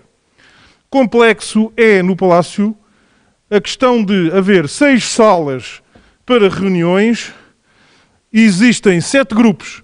Se fôssemos a ver, até seriam oito. Mas eu estou aqui como município, não vou fazer considerações e o que se nota é que, portanto, as salas de reunião já não estão a ser suficientes para a diversidade de grupos ou de partidos. Portanto, aqui fica. Em relação a, a condecorações municipais, eu não sou eleito e, portanto, tenho que vir aqui propor. E eu gostaria de homenagear o Dr. Vítor Duarte, que lutou pela humanidade e tinha um consultório aqui em Louros. Com 68 anos, no grupo de risco, decidiu uh, ir para a linha da frente. E este, estes exemplos de, de, coragem e de heroísmo que nós precisamos. Fez-se um minuto de silêncio, mas ele já faleceu há um ano e meio estão nas condições de atribuir uma condecoração municipal a título póstumo e também a nível da toponímia. Portanto, aqui fica a minha proposta. Em relação às condecorações municipais, ainda este ano quase fiz história quando propus à Câmara Municipal que fosse atribuído a medalha a Ana Leal da TVI, que fez uma investigação brilhante e importante no Conselho de Louros. O anterior presidente eh, não vou mencionar, mas também ele também nunca está presente, mas não vou mencionar o nome dele, aceitou esta proposta. Perante o dilema, e agora? Ana Leal, aceito ou não aceito? Aceitou, tendo depois sido chumbado na comissão. Por isso, uh, estive quase a fazer história, como cidadão, a propor uma medalha. Em relação, ponto 3, em relação à imprensa local e ao, e ao regulamento, Portanto, em relação. Uh, não, uh, não, é necessário controlar qualquer critério editorial de, das revistas e dos jornais. Como nós vemos ultimamente, é, vem sempre, os senhores vêm sempre na capa dos jornais e das revistas. Aqui está, portanto, vem sempre entrevistas, expectativas, portanto, é, é todo, quase todos os números, nem se cansam de estar sempre a dar entrevistas e de aparecer, pronto, aparece, não é? Sempre Vemos regularmente, portanto não é, não é preciso. Vemos notícias simpáticas e boazinhas aqui acerca do Conselho de Louros. Mas eu quero saber, gostava de saber qual dos valores e os apoios que são dados ao Notícias LX. Eu gostava de saber os valores, ainda não, ainda não sei. E eu gostaria que houvesse um regulamento, mas não é um regulamento de beijamão. É um regulamento onde há pessoas que têm um projeto e depois apresentam outro projeto. Num recebe os apoios, no outro desenvolve os conteúdos. Um regulamento que regule isto não será possível. Para receber os apoios e os, o dinheiro de todos nós, tem que ser um projeto único. Isto não, não seria possível. Eu até sou bloqueado num desses conteúdos. Nem posso comentar. Portanto, mas não vamos entrar por aí. Ah, ainda sobre a imprensa regional, também temos aqui. Gostava de saber se estão a dar apoio ao, ao, ao Carlos Cardoso, notícias de cá e de lá. Era as inaugurações e corta-fitas do anterior executivo. E agora? Continuam a dar apoios há publicidade para, para esses meios. O Notícias de Louros discriminou algumas, algumas candidaturas, alguma, algumas pessoas foram, foram discriminadas por este órgão. Notícias de Louros também está a receber apoios. Discriminou, por exemplo, nós cidadãos. O anterior, o, e o anterior eh, diretor fez, também discriminou há quatro anos atrás. Portanto, o Horizonte FM, milhares de, de euros em apoios, muita publicidade para a Câmara de Louros. Nós era quase de hora a hora. Portanto, é esta situação da imprensa local. Em relação a Santo Antão de Tejal, na rua do Castelo Picão, em frente ao estaleiro da Junta, a iluminação, postes, o público está desligado, não há luz e existe um pinheiro numa propriedade privada de grandes dimensões que destrói a via, uma das faixas de rodagem. Portanto, isto é muito mau. O que se passa ali. E também na Rua das Caniceiras, só tem um posto de iluminação pública. O outro já está dentro da Visabeira. Isto é um tujal de terceiro mundo. Isto não é admissível. Por isso, hum, e preferem andar a iluminar, por exemplo, o aqueduto, e monumentos, em vez de dar a luz às pessoas, em vez de iluminar a freguesia, eh, perdão, eh, a localidade. Portanto, agora para terminar, uh, portanto, e, a iluminação na Rotunda das Oliveiras, mas ali não há comércio, não há comércio local.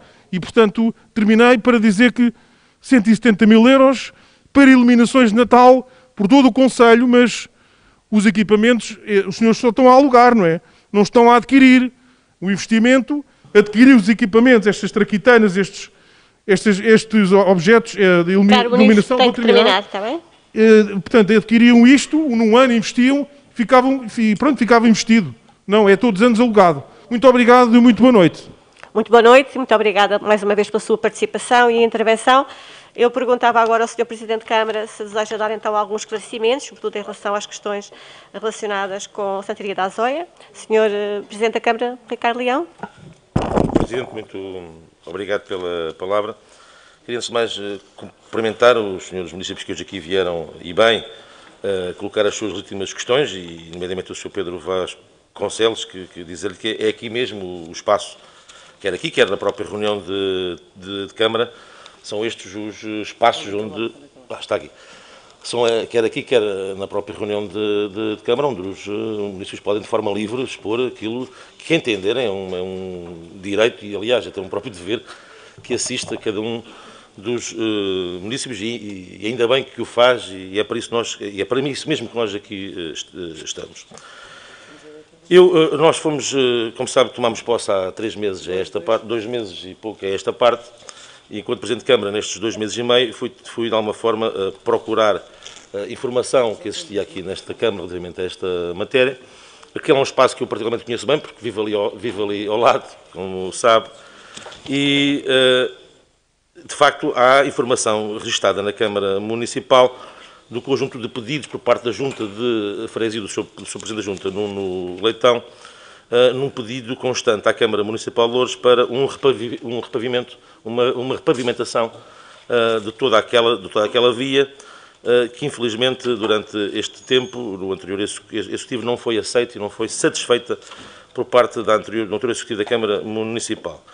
A Junta de Freguesia foi colocando aquilo também lhe compete, que também recebe vera para esse efeito, todas as juntas no chamado tapa-buracos, mas de facto, constatando, e como conhece bem aquela, aquela via, já, aquela lei já não resiste a mais tapa-buracos nenhums. E por isso quero lhe dizer que nós está enquadrada no orçamento municipal para 2022, que há de vir uh, a esta Câmara e aqui à Assembleia Municipal, digamos, essa intervenção, dessa repavimentação dessa, dessa via. Relativamente àquele espaço chamado morto, digamos, digamos assim, uh, que ali se, se encontra. Há soluções que nós podemos apontar e por isso eu já pedi aqui ao meu chefe de, de gabinete para agendarmos consigo uma visita ao local para vermos o que é que, juntamente consigo e com outros moradores, o que é que daquele espaço pode vir a ser para benefício, acima de tudo, de quem lá vive e, neste caso, o Sr. Pedro Vaz Concelos. Portanto, esta é esta é a resposta e, portanto, encontrar-nos nessa visita do qual tenho todo o prazer em deslocar-me consigo. Relativamente ao Sr. Município João Reza, é sempre um prazer tê-lo aqui. dizer o seguinte. Uh, relativamente à questão da, dos grupos políticos e da diversidade dos partidos políticos uh, nesta Assembleia Municipal. Dizer ao Sr. João Reza, está ali, dizer ao Sr. Município, João, João Reza, isto nem sequer apareceu, dizer, quem elege estes deputados é a população, são os municípios, estão aqui uh, democraticamente eleitos. E por isso, se há diversidade, se há pluralidade, é porque vivemos num Conselho democrático, livre, em que as pessoas votam em quem bem entendem. Então, todos os partidos políticos que aqui estão foram eleitos de forma democrática. Se outros não o foram, é porque a população não acreditou uh, nos protagonistas e nos uh, programas. E por isso, uh, o facto de haver salas para estes grupos municipais, para estes grupos políticos, ainda bem que assim é. Porque, sabe, eh, esta casa, que é a Casa da Democracia, do qual eu tive a honra de ser Presidente da Assembleia Municipal no mandato anterior, tem uma particularidade e é oferecer condições aos partidos eleitos na Assembleia Municipal que, infelizmente, outros conselhos não têm. E por isso o facto de existirem salas de apoio aos vários partidos políticos deve servir de, eh, de orgulho e de satisfação para todos os municípios, e estou em crer que também deveria ser para si, enquanto município deste, deste Conselho. Relativamente à questão da imprensa local, Senhor Município João Reza, liberdade de expressão, não sei se sabe o que é.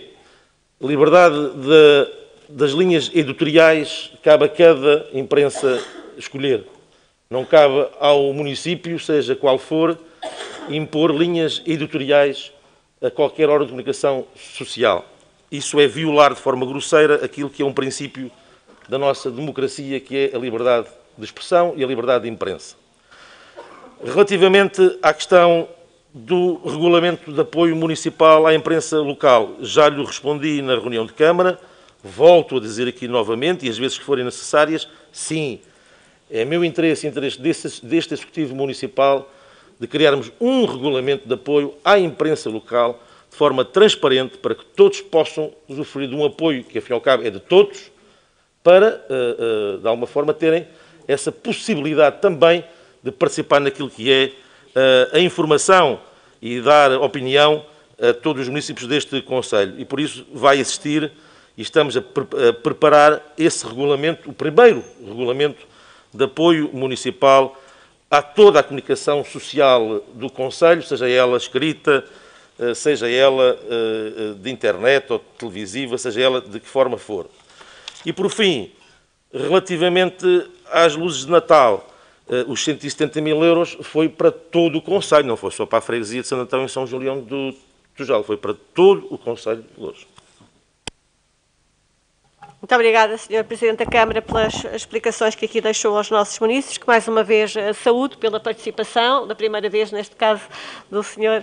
Pedro Vasconcelos, do Sr. Munícipe João Reza, eh, e reiterar, no fundo, aquilo que disse o Sr. Presidente da Câmara em relação a este edifício e em relação à joia da coroa, que é este edifício, de um ponto de vista da participação eh, da, da, da população e da organização da Assembleia Municipal. Aliás, desde que aqui estou, já dois Presidentes da Assembleia Municipal vieram visitar estas instalações, porque gostariam de ter no seu Conselho um hemiciclo desta natureza e um espaço desta natureza. E, portanto, é, é um sinal que temos aqui um equipamento de excelência e que podemos e devemos melhorar. Aliás, eh, temos agora também rampas para este local onde estou, de acessibilidade, e paulatinamente teremos que tornar o edifício o mais acessível possível e melhorar tudo aquilo que seja necessário melhorar e aperfeiçoar, mas é de facto um equipamento que honra o Conselho de Louros e honra claramente esta Assembleia Municipal. Posto isto, está fechado então o período do público e passaríamos uh, de novo ao nosso PAOD, no ponto onde parámos, agora no documento 8, é uma recomendação uh, da CDIU, a abertura do centro de vacinação na zona oriental do Conselho de Louros, e eu pedi à bancada da CDIU para apresentar uh, esta mesma recomendação. Sr. Deputado Bruno Simão. Sr. Presidente, vou ser muito sucinto. Parte da discussão acabou por eh, acontecer num, num, momento anterior, num outro documento. Nós consideramos que, não obstante as medidas já anunciadas e implementadas para alargar uh, uh, o serviço de vacinação, a abertura de um posto de vacinação fixo na zona oriental é importante para robustecer a oferta e a capacidade de resposta à população naquela zona. Obrigada, Sr. Deputado Municipal. Alguma inscrição nesta discussão deste ponto? Não registro, até porque, de facto, de forma conexa com o anterior, já foi explanada esta questão uh, abundantemente. Passávamos então à votação. Quem vota contra? Quem se abstém? Ela é aprovada, peço desculpa, iniciativa liberal, uh, portanto, ela é aprovada por maioria uh, com a abstenção da iniciativa liberal. Pergunto se há alguma declaração de voto. Senhor Deputado Municipal Tiago Abade. Sra. Presidente, o Partido Socialista apresenta como declaração as, as, as declarações feitas há pouco pelo Sr. Presidente da União de Freguesias da Portela e Moscavide, eh, Ricardo Lima. Portanto, então, a conversão em declaração de voto e agradecia que nesse aspecto coadjuvassem depois a mesa e os serviços de apoio na, com uh, o documento nesse sentido. Muito obrigada. Mais alguma declaração de voto? Não registro. Passávamos então ao documento 9, eh, também da autoria da CDU, uma recomendação pelo alargamento da rede de testagem com participada no Conselho de Louros. Pergunto quem apresenta este ponto. A senhora eh, deputada municipal, Tânia Mateus.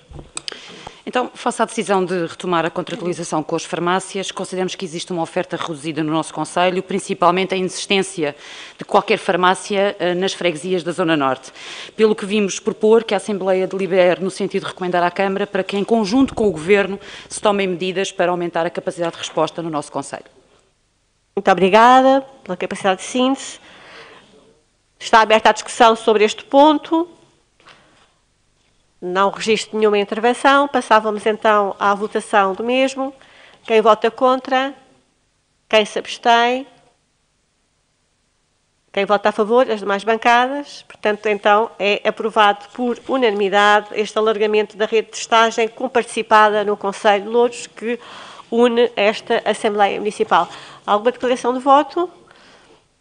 Não existindo, está então fechado uh, este ponto 9. Passávamos para o documento 10, é um documento de iniciativa liberal, é uma recomendação uh, e intitulada O Portal da Transparência. Eu pedi então ao Sr. Deputado Municipal Pedro Almeida para apresentar esta mesma recomendação. Muito obrigado, Sra. Presidente.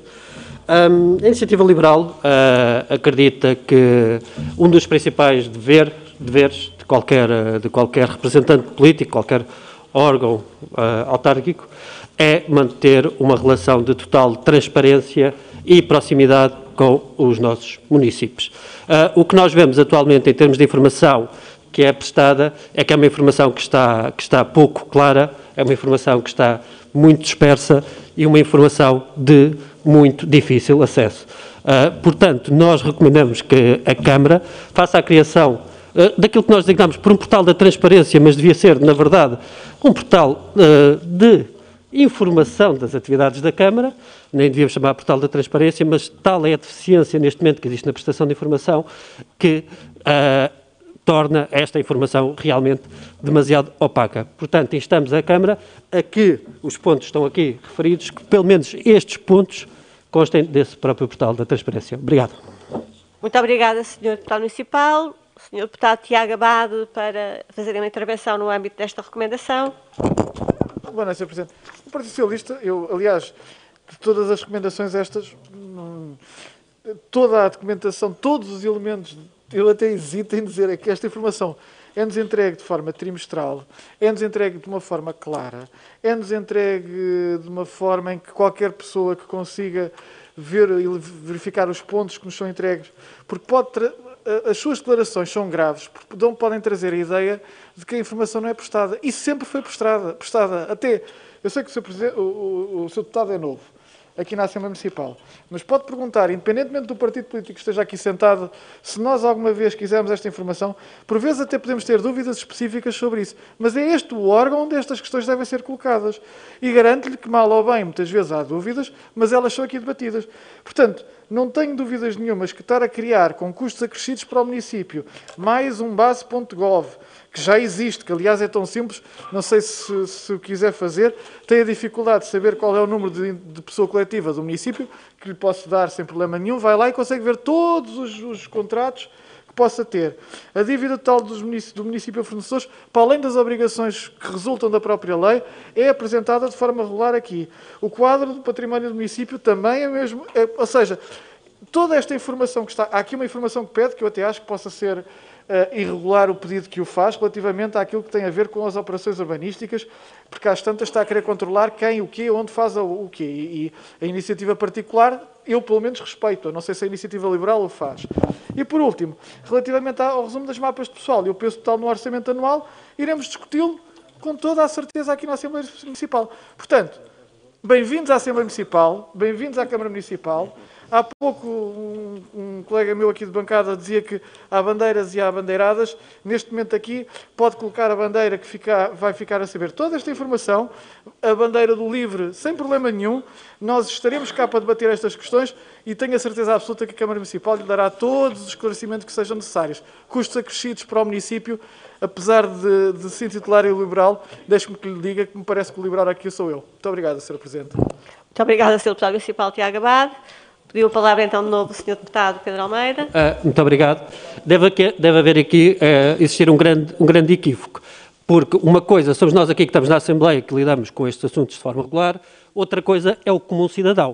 Uh, eu não sei se tem noção do que é, que é isso do comum cidadão, mas se for um pouco aqui fora, vai perceber que realmente a informação não é, não é minimamente de, de, de fácil acesso. O tempo que se, procura, que se demora a procurar um documento, a forma como os documentos estão como, como, estão disponibilizados, uh, não, é, não, é, não é minimamente acessível para o, o comum cidadão. Uh, eu realmente eu percebo uh, que cause alguma espécie, isto não é um custo, porque se a Câmara tiver um funcionamento eficiente, e já agora se tivéssemos esses mapas de pessoal bastante claros, já, já, já iríamos perceber se efetivamente temos os quadros suficientes no município, dentro do nosso município, para fazer esta tarefa, mas isto é é, é, é um dever básico. Nós não nos podemos, é, a, a escudar através dos custos a dizer que a Câmara não pode cumprir com os seus deveres básicos. E a questão da informação e a prestação de contas aos municípios é um dever básico e esse dever básico, efetivamente, não está a ser cumprido. Não é por nós aqui na Assembleia conseguimos aceder aos documentos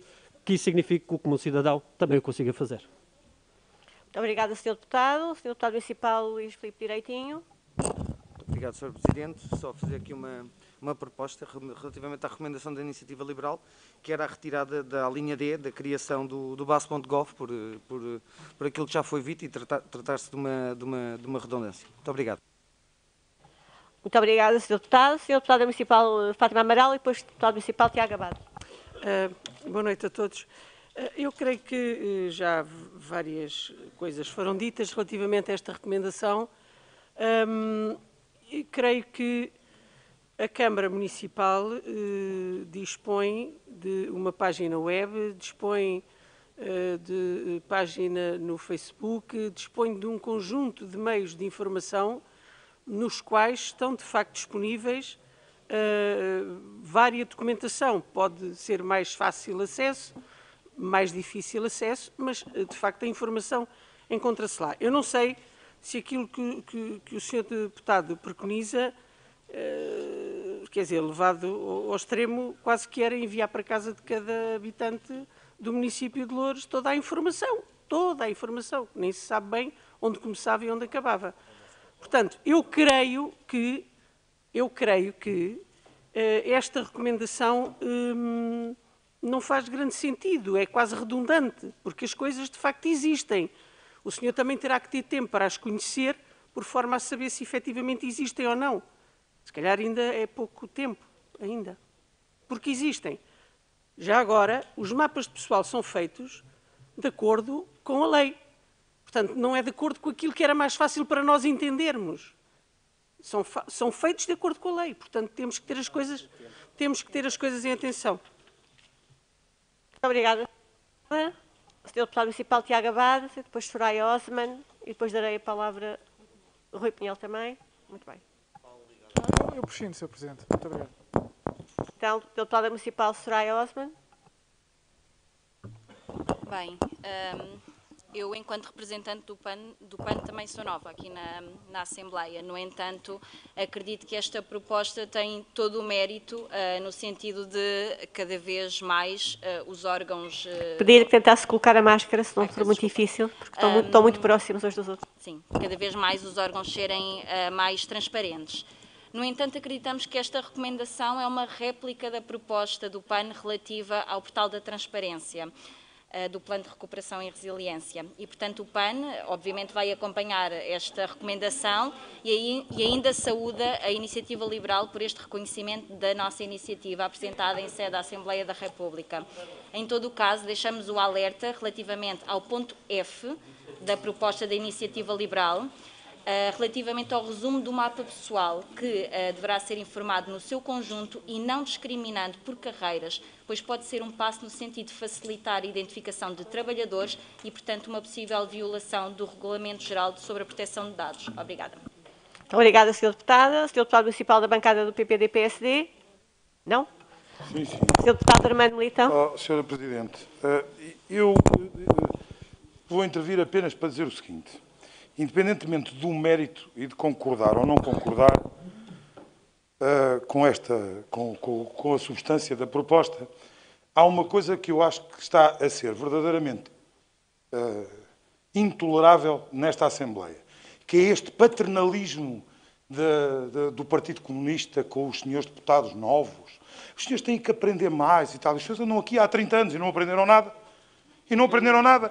Olha, há dias o senhor Presidente da Junta de Freguesia aqui do Tujal dizia que era aqui o decano. Se calhar sou eu o decano, mas eu fui lá ao portal para ver, no outro dia, queria, por, por, por curiosidade, queria ver quando é que tinha sido eleita a primeira vez para esta Assembleia Municipal. E não consigo lá chegar, sabe? É, se calhar o defeito é meu. E os senhores têm tanta, têm tanta transparência nas coisas e têm sempre este paternalismo, seja com os que vieram de novo, seja com os que cá estão. Deixem-se disso. Deixem-se disso. A democracia é assim mesmo. E aqui, como já disse muito bem o Sr. Presidente da Câmara hoje aqui, a liberdade faz com que as pessoas apresentem as propostas que entenderem. E esse paternalismo só vos fica mal. Só vos fica mal.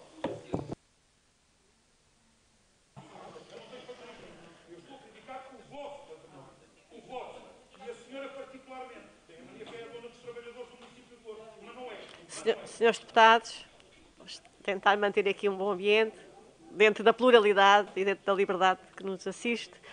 Eh, penso que agora era o Sr. Deputado Pedro Almeida para a resposta. Julgo que não falta mais ninguém. Só para responder, responder, aqui à Sra. Deputada do, do PCP, uh, eh, nós não propomos nenhuma alteração ao formato dos documentos. Estamos só a propor uh, que ele seja disponibilizado de forma mais simples uh, a todos os municípios. Não é, por, não é por os documentos estarem lá todos num, num, num site que eles de repente, a, a, lei, como está referido aqui na própria recomendação, a lei está a ser cumprida, mas efetivamente a forma como os documentos e toda a informação sobre a atividade da Câmara é disponibilizada não é clara. Portanto, existe um trabalho de simplificação que tem que ser feito.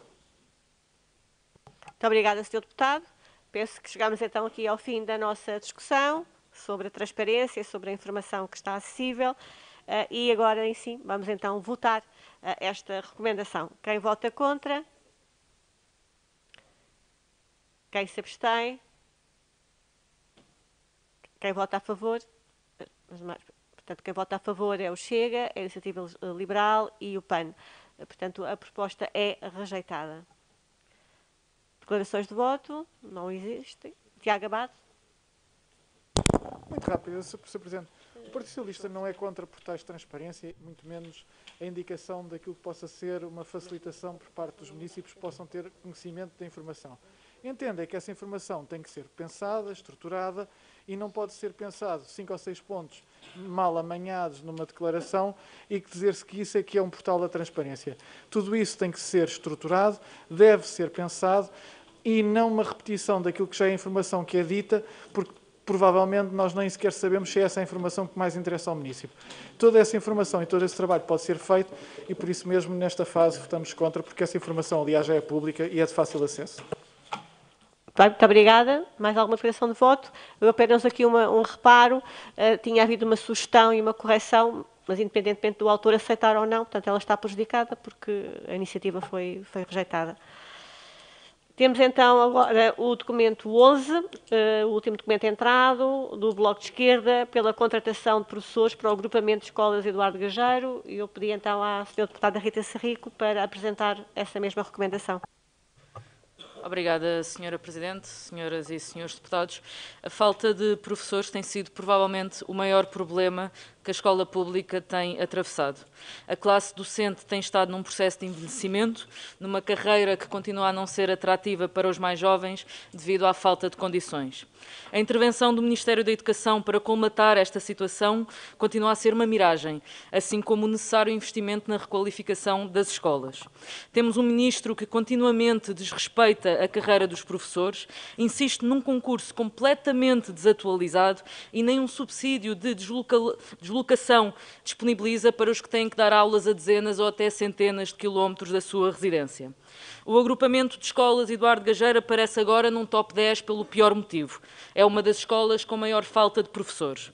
O presidente da Câmara de Louros, o Sr. Ricardo Leão, ex-deputado do Partido Socialista, fez boa parte da sua campanha autárquica, louvando-se dos seus contactos com o Governo para a resolução dos problemas do nosso Conselho. Ora, Sr. Presidente, mais do que promessas, gostaríamos de ver ação concreta.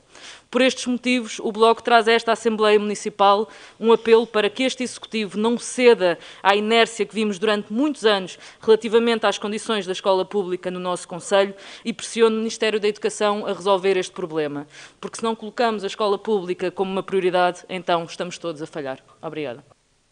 Muito obrigada, Sra. Deputada. Sr. Deputado Municipal Tiago Abad. Muito rapidamente, Sra. Professora. Uh, Sra. Presidente, eu, eu, agora a falar de professores tam, também, mas, uh, mas não aqui. Não, sobre este ponto específico, só, só dizer duas coisas, que era, de acordo com a informação que foi recolhida, aquilo que da recomendação que dispõe o Bloco de Esquerda, já não está, a informação já não está atualizada. Uh, reconhecemos que é importante e é absolutamente essencial. Aliás, a recomendação tem dois pontos. Tem um primeiro ponto que é sobre a escola Eduardo Gageiro, aliás, sobre o agrupamento de escolas Eduardo Gageiro, e depois aquele que são as recomendações são genéricas. Insto o Ministério da Educação a criar, alterar o modelo da contratação de professores, porque isto também é bom que as pessoas saibam aquilo que vocês propõem. Que é, bem, isto, isto ao Ministério. O problema é na, na escola Eduardo Gageiro e no agrupamento de escolas, mas o que vocês propõem é isto, primeiro ponto, instar o Ministério da Educação a alterar o modelo de contratação de professores. O Ministério da Educação criar um subsídio para profissionais deslocados. Que o Ministério da Educação respeitar as carreiras, os vínculos e os salários de todos os professores. Ah, mas isto não parece que não cola com aquilo que é a preocupação, que é a nossa preocupação, que é a preocupação do agrupamento de escolas e do Gageiro. E como é essa a nossa preocupação, e a preocupação do Partido Socialista, não é uma, não é uma questão etérea, nem uma questão para discussão na Assembleia da República, é aquilo que deve ser discutido na Assembleia Municipal de Louros, porque é para os municípios de Louros com que nós trabalhamos, nós fomos obter informação sobre o agrupamento de escolas e do Guarda Gageiro. E a informação que tem, e pode recolher lá se também se quiser, é de que aquilo que você aqui diz já não existe já não está assim. E, portanto, não estando assim, não é algo que nós não nos preocupamos, porque preocupamos diretamente e diariamente com estas situações, mas felizmente que já não é essa situação. Portanto, o que acontece? Das 600 horas que vocês dizem que estão por preencher, estão 18 horas por preencher. É só uma diferença para mais de 500 horas daquilo que é aqui dito. Portanto, eu percebo que há aqui algumas faltas de, de informação e que, não, e que não, não correspondem àquilo que acaba por fazer. Não obstante, o Partido Socialista tem a preocupação e tem procurado, através do trabalho que fez, então não aqui, mas na Assembleia da República também, procurar melhorar a qualidade de vida dos trabalhadores e, em particular, dos, dos trabalhadores da administração pública. Trabalho esse que foi inviabilizado pelo Bloco de Esquerda, quando chumbou o Orçamento de Estado e não permitiu que os trabalhadores da administração pública pudessem ter aquilo que deveriam ter este ano, que eram aumentos consideráveis e um verdadeiro Orçamento de Esquerda, foi aquilo que nós propusemos e que os senhores chumbaram. Muito bem. Muito obrigada, Sr. Deputado. Deputada Rita Sarrico. Obrigada, Sr. Presidente. Senhora Presidente, agradecer a intervenção do Sr. Deputado do Partido Socialista, Tiago Abade. Uh, senhor, uh, senhor Deputado Municipal Tiago Abado, se a educação não é uma prioridade para o Partido Socialista, isso diz mais do Partido Socialista do que do Bloco de Esquerda. Em relação aos dados, eu não sei se o senhor Deputado está a acusar a FENPROF de mentir. Não sei se é isso que o senhor está a fazer, mas já agora, se tem outros dados, faça o favor de disponibilizar os dados, os, da, os dados que tem. Mostre, é que, nós temos, é que nós temos fontes para os dados que apresentamos Agora, eu também poderia vir por aqui, eu também podia vir para aqui e debitar números sem ter documentos para sustentar. O Bloco, o Bloco de Esquerda consultou aquilo que foi disponibilizado pela FENPROF, que foi denunciado pela FENPROF e que foi disponibilizado aos órgãos de comunicação social e foi nisso que baseou a sua recomendação. Não obstante, o problema aqui principal é, de facto, a falta de professores. Não vem agora o senhor representante do Partido Socialista dizer que este não é um problema, como dizia o Ministro da Educação, que era um problema pontual. Reconhecemos que a falta de professores é um problema estrutural. Em relação uh, ao chumbo do orçamento, senhor representante, eu, eu, percebo que seja o único argumento que tem para usar para tentar desvalorizar as propostas do, do Bloco de Esquerda. Compreendo, estava à espera, faz parte da estratégia do Partido Socialista. O que o senhor uh, não disse aqui quando falou do, do chumbo do orçamento é que foi, esse chumbo foi exatamente pelo desrespeito que o Partido Socialista continua a ter com os trabalhadores e também com os professores, que tem sido um desrespeito colossal, que tem aumentado de dia para dia, com o Ministro da Educação completamente ausente, ou quando aparece, é sim para desrespeitar esta carreira que devia ser valorizada e não desrespeitada como o Ministério da Educação e como o Governo do Partido Socialista continua e insiste em fazê-lo. Obrigada. Muito obrigada, Sra. Deputada. A Sra. Deputada Municipal Tânia Portela pediu a palavra. Sr. Presidente, muito, muito breve. Um, como alguns sabem, eu tenho uh, muita informação relativamente a este agrupamento de escolas e tive o cuidado de ontem, quando da recepção deste documento, contactar a direção do agrupamento, nomeadamente o diretor, uh, e pedir informações relativamente a isto. Pronto. O senhor diretor diz que no início do ano aquele agrupamento, como qualquer outro, teria dificuldade na contratação, porque ainda havia muita, muita mobilidade de professores, que esta informação é absolutamente errónea, portanto não há aqui qualquer veracidade à data de hoje. Portanto, quando aqui diz estarão naquele agrupamento 600 horas por preencher, se dissesse estari, estiveram, era uma coisa, agora estarão é absolutamente falacioso. Neste momento está um horário de 18 horas por preencher, está outro horário de igualmente 18 horas, que ainda não pode ser substituído, porque é uma baixa e ainda não tem o tempo de duração para a sua substituição, ao que o senhor diretor acresceu que não houve dificuldade na recepção de professores, há dificuldade sim na recepção de professores substitutos, porque há professores que estão de baixa, há professores de assistência à família, há professores com gravidez de risco e, portanto, estas foram as dificuldades. O não tempo está escutado, mas sim, conclua, Pronto, Não obstante, conclua. há preocupação com a educação, como é evidente. Obrigada. Muito obrigada pelo esclarecimento, Sr. Deputado, e pela fonte, neste caso a fonte, direção do agrupamento. Mais alguma questão sobre este ponto? Não havendo, vamos então passar à votação desta recomendação. Quem vota contra? Iniciativa Liberal. Quem se abstém? O Partido Socialista. Uh, Partido Socialista. O Chega. Quem vota a favor? A CDU, a PAN e o PSD. A, a recomendação é, é aprovada. Peço, peço ao Sr. Uh, Primeiro Secretário se. O voto contra da iniciativa do Liberal, a abstenção do Chega e do PS. E os votos a favor das, das restantes bancadas. Muito obrigada. Primeiro Secretário, estimado deputado. Declaração de voto. Uma declaração de voto do Chega e depois declaração de voto do Sr. Deputado Pedro Almeida. Luís Filipe Direitinho. Muito obrigado, Sr. Presidente. Uh, o Chega absteve-se nesta, nesta proposta do Bloco de Esquerda, no, uh, apesar de concordarmos com a contratação de mais, mais professores, uh, de facto, os dados que estão na, na, na, recomendação não, não, não são reais e, portanto, não, não, não dizem respeito à realidade fáctica. Muito obrigado. Muito obrigada, Sr. Deputado Municipal Pedro Almeida. Muito obrigado. Uh, como é óbvio, a iniciativa liberal não é contra que o quadro de professores seja preenchido na totalidade, uh, mas este, este documento acaba por ser mais um, um, documento de caráter puramente ideológico, quando nós sabemos que o Bloco de Esquerda desconsidera o sistema de educação como um todo, quando falam aqui uh, em alterar os modelos de contratação, mas para o Bloco de Esquerda só existe educação pública, desconsidera todos os outros modelos de educação e desconsidera completamente, e posso acabar, se faz favor, e desconsidera completamente a origem de vários dos problemas que existem atualmente na contratação de professores. Portanto, não vale a pena estar a aprovar um documento de um partido que não está interessado em resolver o problema, mas está interessado em pôr a sua agenda ideológica. Obrigado.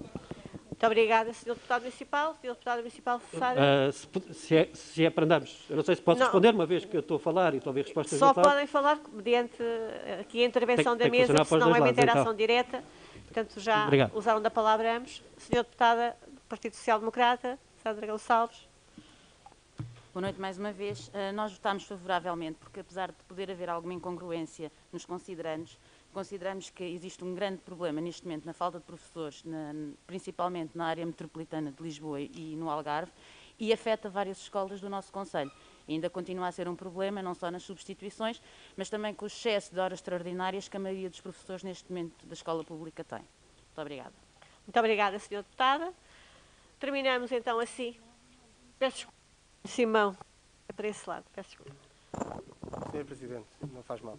Eh, A CDU votou favoravelmente este documento, tendo em conta, eh, sobretudo, as suas resoluções, porque elas apontam no caminho necessário para a resolução de um problema crónico, não só neste agrupamento, mas em muitos agrupamentos do nosso Conselho, que é a dificuldade de colocação e preenchimento de horários, que, com grave prejuízo para os alunos, para a aprendizagem. E eh, porque eh, entendemos que o Governo não pode tratar este tipo de assuntos de forma pontual, com task force, que no fundo, quando eh, muitos meses antes há no local certo propostas concretas, que é o caso da Assembleia da República, que são rejeitadas pelo Partido Socialista para vinculação atempada de professores, criação dos mecanismos necessários para que estas situações não aconteçam. Isto é prevenir os problemas e não andar, andar a co- a correr atrás do prejuízo. É isso que se espera para ter uma educação de qualidade e com uma resposta eficiente e capaz aos alunos e já agora respeitando também as carreiras e o trabalho dos professores, que são fundamentais para a dignifi- a dignificação da escola pública e para o desenvolvimento do nosso país e, neste caso, do nosso Conselho. Disse.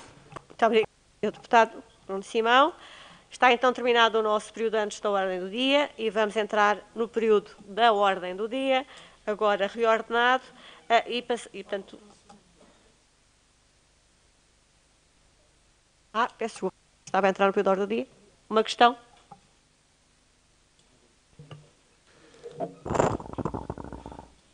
Ontem, dia 15 de dezembro, foram divulgadas declarações do Presidente da Câmara Municipal de Odivelas acerca do projeto Metropolitano de Superfície, dando nota de uma reunião com o Conselho de Administração do Metropolitano de Lisboa, que refere que a Câmara Municipal de Odivelas está a ponderar, cito, deitar abaixo o protocolo existente, tendo em conta a diferença entre valores inscritos no PRR e a estimativa atualizada na presente fase mais adiantada da elaboração do projeto. Diferença que o Metropolitano entende dever ser suportada pelos municípios, em montante que a Câmara Municipal de Odivelas entende não ser suportável. Informou ainda que o Presidente da Câmara Municipal de Louros o acompanharia nesta posição. Os municípios de Louros e Odivelas assumiram desde a primeira hora a sua disponibilidade para participar no impulso desta obra para a zona norte da área metropolitana de Lisboa, desde logo assumindo os encargos do desenvolvimento dos estudos e projetos, nos quais ambos os municípios têm já uma importante participação financeira e necessariamente a igual participação dos municípios em termos razoáveis de encargos comportáveis à concretização do investimento. Nesta fase, o que consideramos ser indispensável é a convocação do Governo, sendo este o investimento da Administração Central, no sentido de assegurar as condições financeiras necessárias, além do que a participação comunitária inscrita no PRR já assegura. Não é razoável nem aceitável o enorme prejuízo para o Conselho de Louros e para as suas populações que resultaria da interrupção dos trabalhos em curso e concessão deste projeto.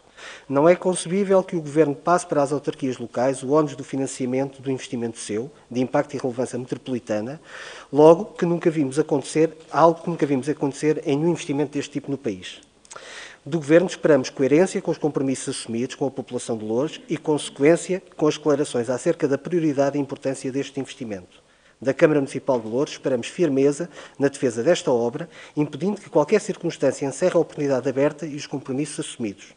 Face a esta informação, é imprescindível que seja dada uma informação à Assembleia Municipal sobre o ponto de situação deste processo, sobretudo se já houve contactos com o Governo para o necessário desbloqueio de uma situação que parece que neste momento obstaculiza o desenvolvimento e a concretização deste investimento. Disse.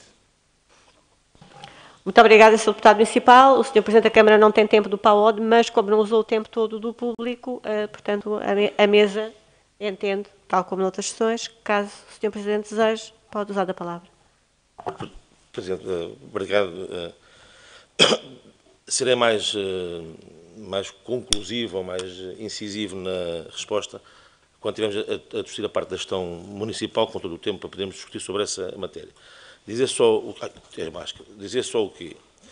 Dizer relativamente a essas afirmações que o Sr. Presidente da Câmara de Odivelas proferiu, ainda não as vi e, portanto, vou ter, o, vou ter a oportunidade de, de amanhã, com tranquilidade, de as poder ver, mas confesso que já me disseram que houve, de facto, essa afirmação, e dizer o seguinte.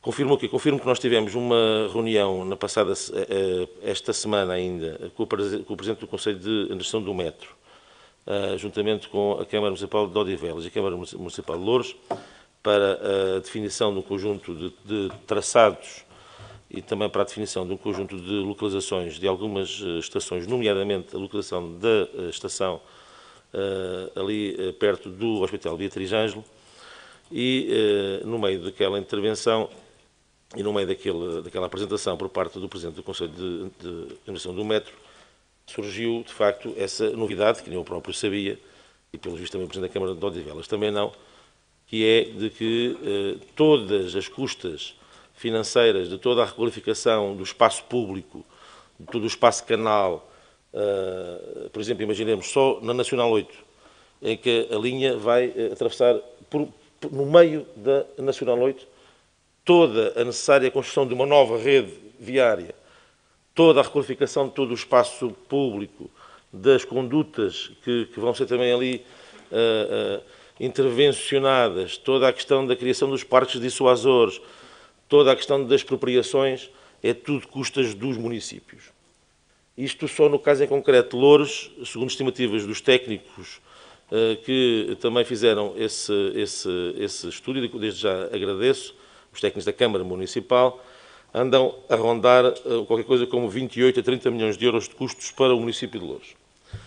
Uh, relativamente àquilo que Odivelas tomou como decisão, aquilo que eu constato foi de que uh, o que foi dito é que não havia condições financeiras por parte, neste caso de Louros, para suportar esses 28 a 30 milhões de euros de toda essa situação. Como sabe, o Sr. Deputado Municipal da CDU, este foi um processo do qual eh, eu próprio, como Presidente da Assembleia Municipal, pouca informação tive relativamente a essa matéria.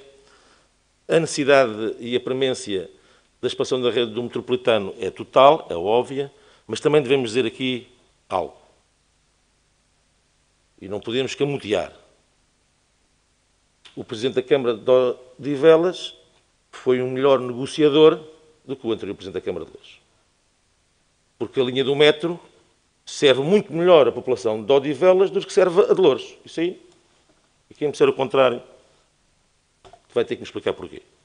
Porque repare, a linha do metro de Louros, as pessoas do Infantado, para irem ao Hospital Beatriz Ângelo, vão ter que ir a dar a volta toda. Vão ter que ir a Odivelas e depois é que vão para o hospital. Eu até disse ao Sr. Presidente do Conselho do Metro que eu de bicicleta até vou mais rápido. Do Infantado para o Hospital Beatriz Ângelo? Mais rápido. Isto não quer dizer de todo o esforço do Governo, da Câmara, de todos os autarcas para a expansão da rede do metropolitano, que ele vai ser colocado em causa por isto ou por aquilo. Vamos lá ser sérios. E, portanto, essa vimência que o deputado municipal aqui pediu à Câmara, essa vimência, se essa vimência que coloca e que solicita ao Presidente da Câmara se essa veemência é interferir e tudo fazer para que a expansão da rede do metropolitano se concretize, sim, vai haver veemência. Se essa veemência é para, digamos, pressionar o Governo para encontrar linhas de crédito e linhas de financiamento para que o município de Louros possa recorrer para que em Louros essa expansão possa, possa ser concretizada, sim, vai haver. E por isso, da minha parte, da parte do Presidente da Câmara Municipal de Louros, essa pressão junto do Governo irá existir e no, no sentido de criar linhas de financiamento, porque vamos lá dizer a verdade. 28 a 30 milhões de euros por baixo de custas do município com orçamento próprio da Câmara, vai ser muito difícil. E, portanto, aqui vai ter que haver aqui um esforço por parte do Governo na criação de linhas de crédito ou de linhas de financiamento, diversas, através de PRRs, de PTs 2030, aquilo que se entender, e o município de Louros recorre a elas com todo o interesse. Obviamente, se tivermos que ir também, do ponto de vista do orçamento municipal próprio, ir um pouco também, claro vamos. Mas as palavras do Presidente da Câmara de Odivelas, que repito, ainda não as, eh, ainda não as visionei, eu posso dizer é as, é as minhas. E por isso eu vou ter uma reunião para a semana com o Presidente eh, no dia 21, no dia 21 com o, 22 com o Presidente do Conselho de, de Administração do Metro, para de facto clarificarmos algumas posições. A Câmara Municipal hoje quer, obviamente, e não está interessada em rasgar a expansão do, do Metropolitano ao Conselho de Louros, de forma nenhuma, e tudo vamos fazer para que eles concretize. Agora, nós não vamos hipotecar o futuro do município assim, só porque é importante. Vamos fazer a nossa parte, de exigir do, do, do Governo, mas também, desculpe lá, Sr. Presidente, Sr. Deputado Municipal, eu hoje já podia estar a pressionar o Governo de uma outra forma se os senhores não tivessem chumbado este Orçamento de Estado. E por isso também vos digo que, eh, não, é, tem, uma, tem uma piada enorme colocarem o país no estado em que vocês colocaram. Tem uma piada enorme. Tem uma piada enorme. É, é curioso estarem-se a rir depois de terem colocado o país num quadro pandémico atual, numa recuperação económica que o país estava a verificar-se, e é curioso estarem-se a rir depois de colocarem o país neste pântano político. É muito curioso. E por isso, Sr. Deputado Municipal, por muito que custa ouvir, vai ouvir. Vai ouvir. Vai ouvir porque hoje já estaríamos respostas do Governo em concreto relativamente a esta matéria, caso não fosse os senhores terem chumbado este, este, este, este Orçamento de Estado. Muito obrigada, Sr. Presidente da Câmara. Sr. Deputado Bruno Simão. São cinco segundos. Nós colocamos a nossa preocupação de uma forma muito séria e não vale a pena, perante qualquer circunstância, a estratégia é atira-se para o chão e geme como se fosse empurrado. A questão não é essa. Nós, eh, se a posição da Câmara é eh, cumprir e que o Governo assuma as suas responsabilidades, porque elas estão fixadas num acordo que também foi aprovado nesta Câmara por todos, e não está lá nenhuma obrigação de que os municípios assumam tudo aquilo que vai para além do financiamento disponibilizado ao metro. Essa obrigação não está lá. E não podemos aceitar que nos seja imputado de ânimo leve. E para esse caminho tem todo o nosso apoio, porque nós continuamos muito empenhados Obrigada, Sr. Deputado. Já não Muito obrigado pela sua atenção. Obrigada. Muito bem, terminamos então assim uh, este período antes da ordem do dia, entrando na ordem do dia e no ponto 2, que passa a ser o ponto 1, um, que é a proposta 520-2021, uma aceitação de transferência da propriedade a título gratuito pelo Peru de imóvel correspondente à Quinta de São Gião, o antigo centro psiquiátrico de recuperação de Montachique, através de audição. O ponto está bem uh, uh, instruído. Portanto, eu perguntava ao Sr. Presidente da Câmara se deseja uh, apresentar ou se prescinde e se reserva para alguma questão. O Sr. Presidente reserva-se para alguma questão e eu pergunto se há algum, alguma pergunta sobre este ponto, antes de o votarmos. Não havendo, passamos. Muito bem, Sr. Deputada Soraya Osman. Um, muito obrigada, Sra. Presidente.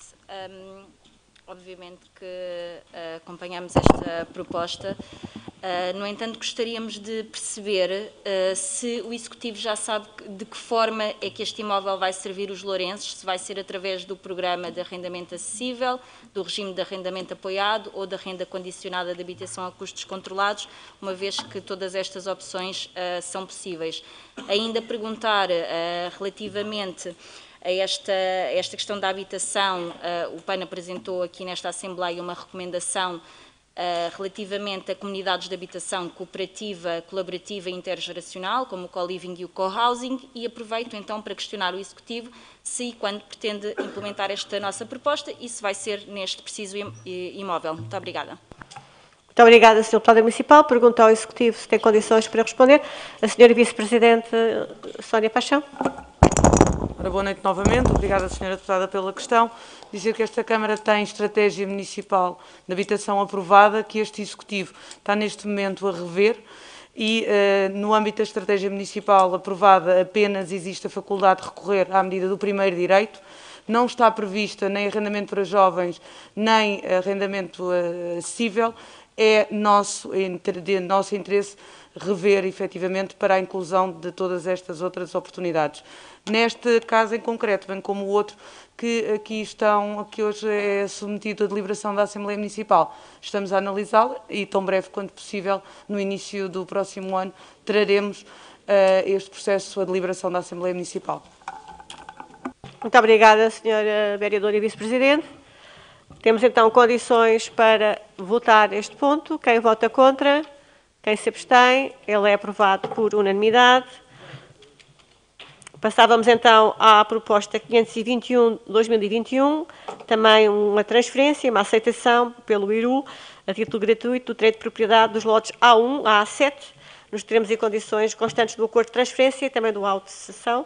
E eu perguntava uh, aos senhores deputados se têm alguma questão. Não havendo, passamos à votação deste ponto. Quem vota contra, quem se abstém, abstenção do Chega. O ponto é aprovado por maioria, com a abstenção do Chega. E estamos então no ponto subsequente de, de um contrato inter-administrativo, delegação de competências da Câmara Municipal, um investimento da Junta de Freguesia de Lourdes, com vista à requalificação do adro da Capela da Morteira.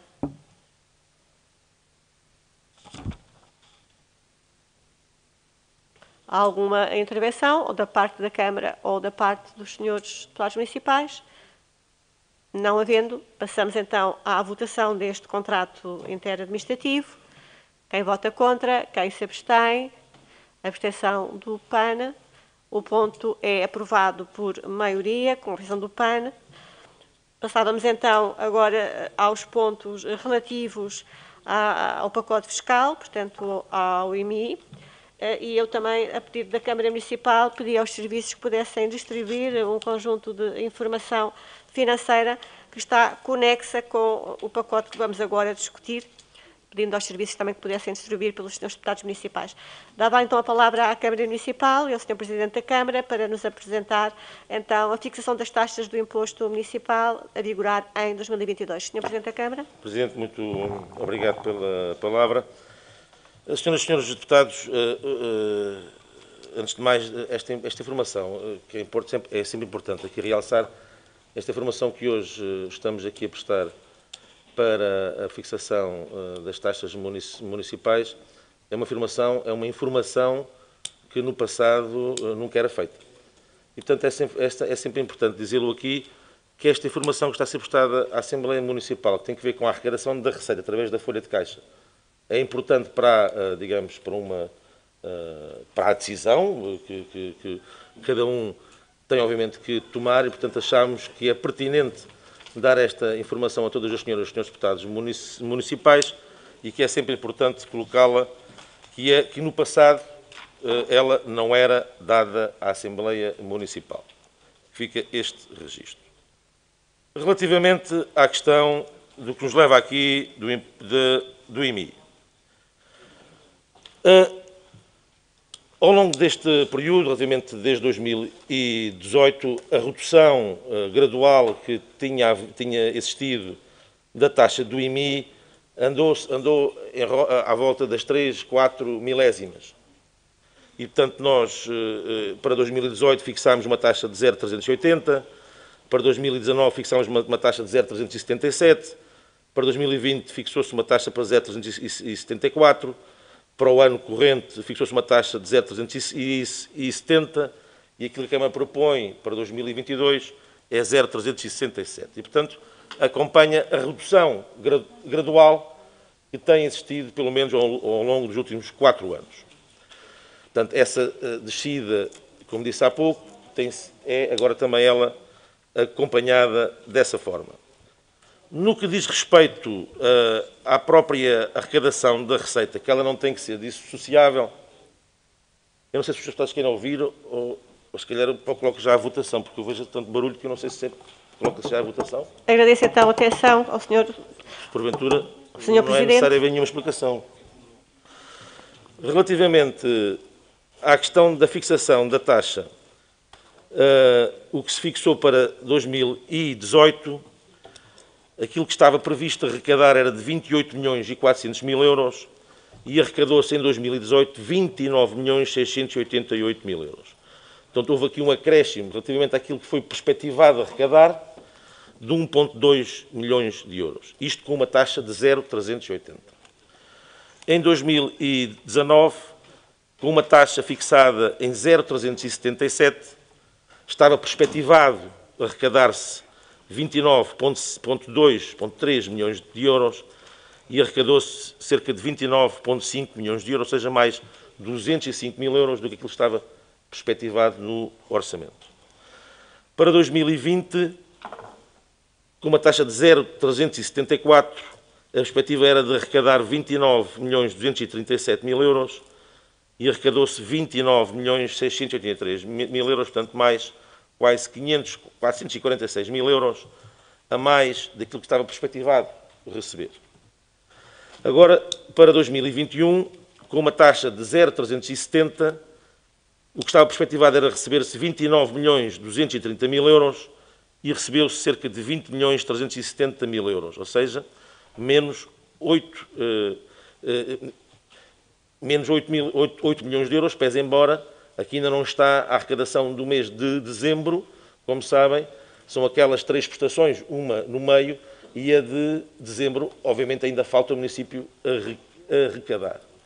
E por isso nós aqui o que posso aqui dizer é que relativamente à taxa, à, arrecadação de hoje, ela está em nível, em linha com o que foi arrecadado em período homólogo no ano passado. Portanto, não vai haver aqui grande oscilação, nem para mais, nem para menos, relativamente à arrecadação do IMI, e este acho que é um dado importante para refletirmos aqui hoje. Nesse sentido, o acompanhamento desta descida gradual que tem ocorrido ao longo destes quatro anos da taxa de IMI proposta e que vamos este ano também cumpri-la, dar continuidade a ela, para zero, neste caso para 0,367, tem uma previsão de menos arrecadação de receita, de, de, quebra, de não arrecadação de receita, de à volta de 260 mil euros de receita que não vai ser arrecadada de IMI com esta descida uh, para 0,367. É óbvio que esta descida do IMI não deve, não pode mesmo ser dissociada daquela que mais daqui a pouco vamos analisar, que é a do IRS. Porque o IRS nunca foi mexido na Câmara Municipal. Portanto, é a primeira vez que se vai mexer. E, portanto, a política fiscal tem que ser vista numa lógica de globalidade, de política fiscal conjunta, e, por isso, este esforço do IMI é um esforço que vai ser ainda acrescido desse esforço de descida do IRS, como ainda vamos pouco, daqui a pouco verificar. E por isso estas duas, estes dois fatores, estes dois, uh, estes dois uh, uh, impostos conjuntos, na proposta que levamos aqui a esta Assembleia Municipal, leva a uma quebra da arrecadação de receita, as duas juntas, de mais de meio milhão de euros, neste caso de 520, milhões, 520 mil euros. Por isso, o que estamos aqui a tratar é do IMI, que não pode, obviamente, ser dissociado também do IRS, e esta é, obviamente, a proposta que o município de Louros, com esta explicação, apresenta aqui eh, aos senhores deputados municipais. Muito obrigada, Sr. Presidente de Câmara, pela explicação que ele nos trouxe sobre a proposta para 2022 e os impactos da mesma. Perguntava então se há inscrições no âmbito deste ponto, senhores deputados municipais a deputada Soraya Osman, do PAN, e depois a deputada Tânia Mateus. Obrigada, Sra. Presidente. Bem, é, aqui o nosso voto favorável relativamente a esta proposta está naturalmente condicionado a, esta garantia, a uma garantia implícita eh, dada pelo Executivo Municipal de que a redução da taxa do IMI e também um, da participação no IRS não vão pôr em causa a saúde financeira do município e, consequentemente, as políticas uh, públicas municipais.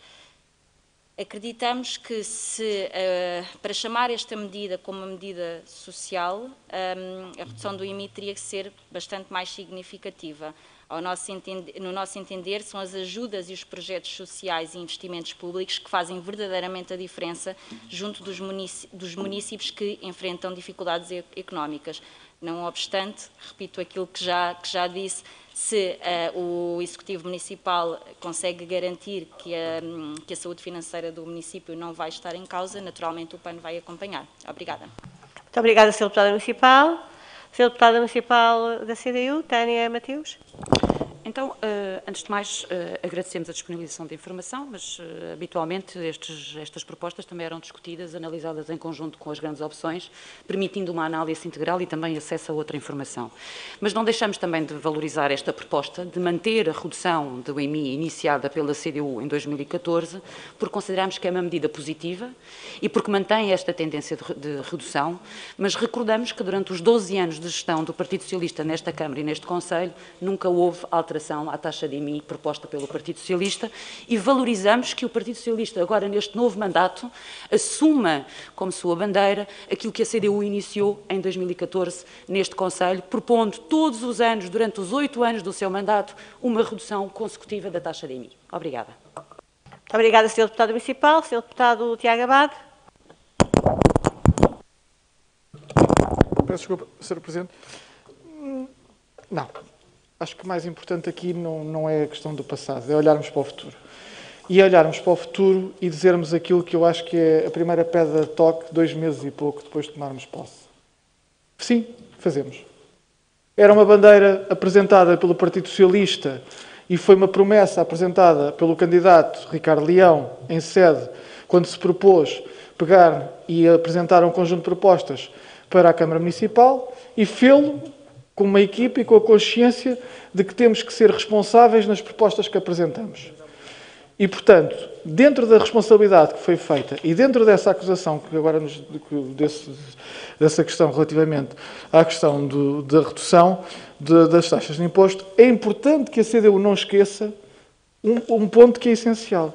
É que nunca nos últimos nove anos houve um acréscimo de despesa tão grande, tão grande, de despesa, desculpe, de receita tão grande, que depois também teve o seu efeito na despesa, é evidente, mas de receita tão grande como no, no, nos últimos anos.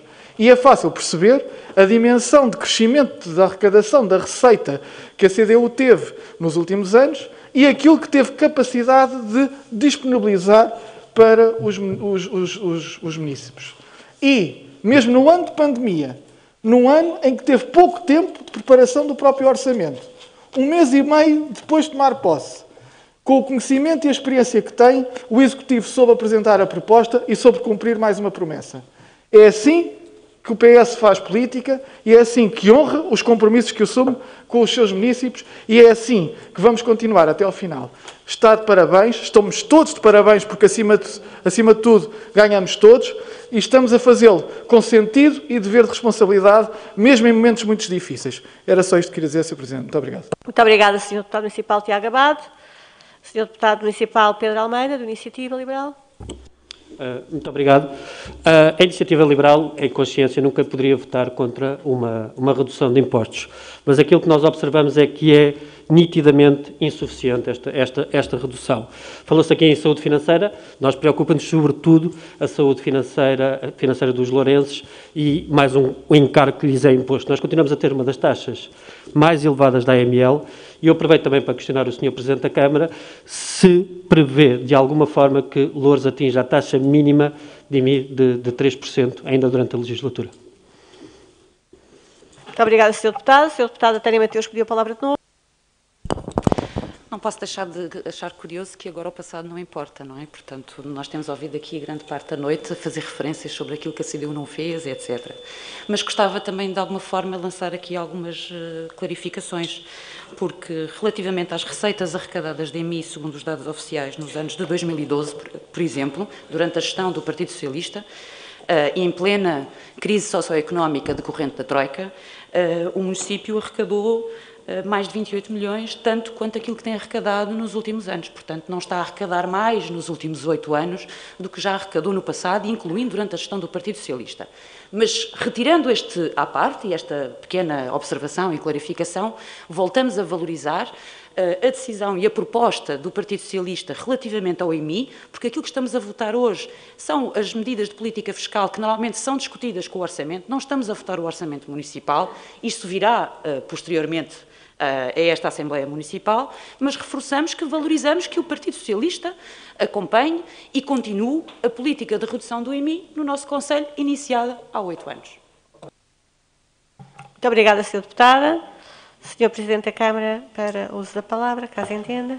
Presidente, muito novamente obrigado pela palavra. Eh, dizer já relativamente aqui a questão. Eu, eu não tenho problema nenhum, eu, aliás, eu confesso, eu gosto de falar do passado, portanto, não tenho problema nenhum. Gosto, e acho que vale a pena falar do passado, porque tudo tem uma linha condutora. E de facto é verdade. A CDU, nos mandatos da CDU, houve descidas de mim, e eu, na minha intervenção, disse: nós estamos a acompanhar a média das descidas de mim que tem acontecido no passado. Não me cai nenhum bracinho por dizer isto. Há outro passado, do qual eu também, quando digo, o que tem que criticar, critico, o que tem que elogiar, elogio.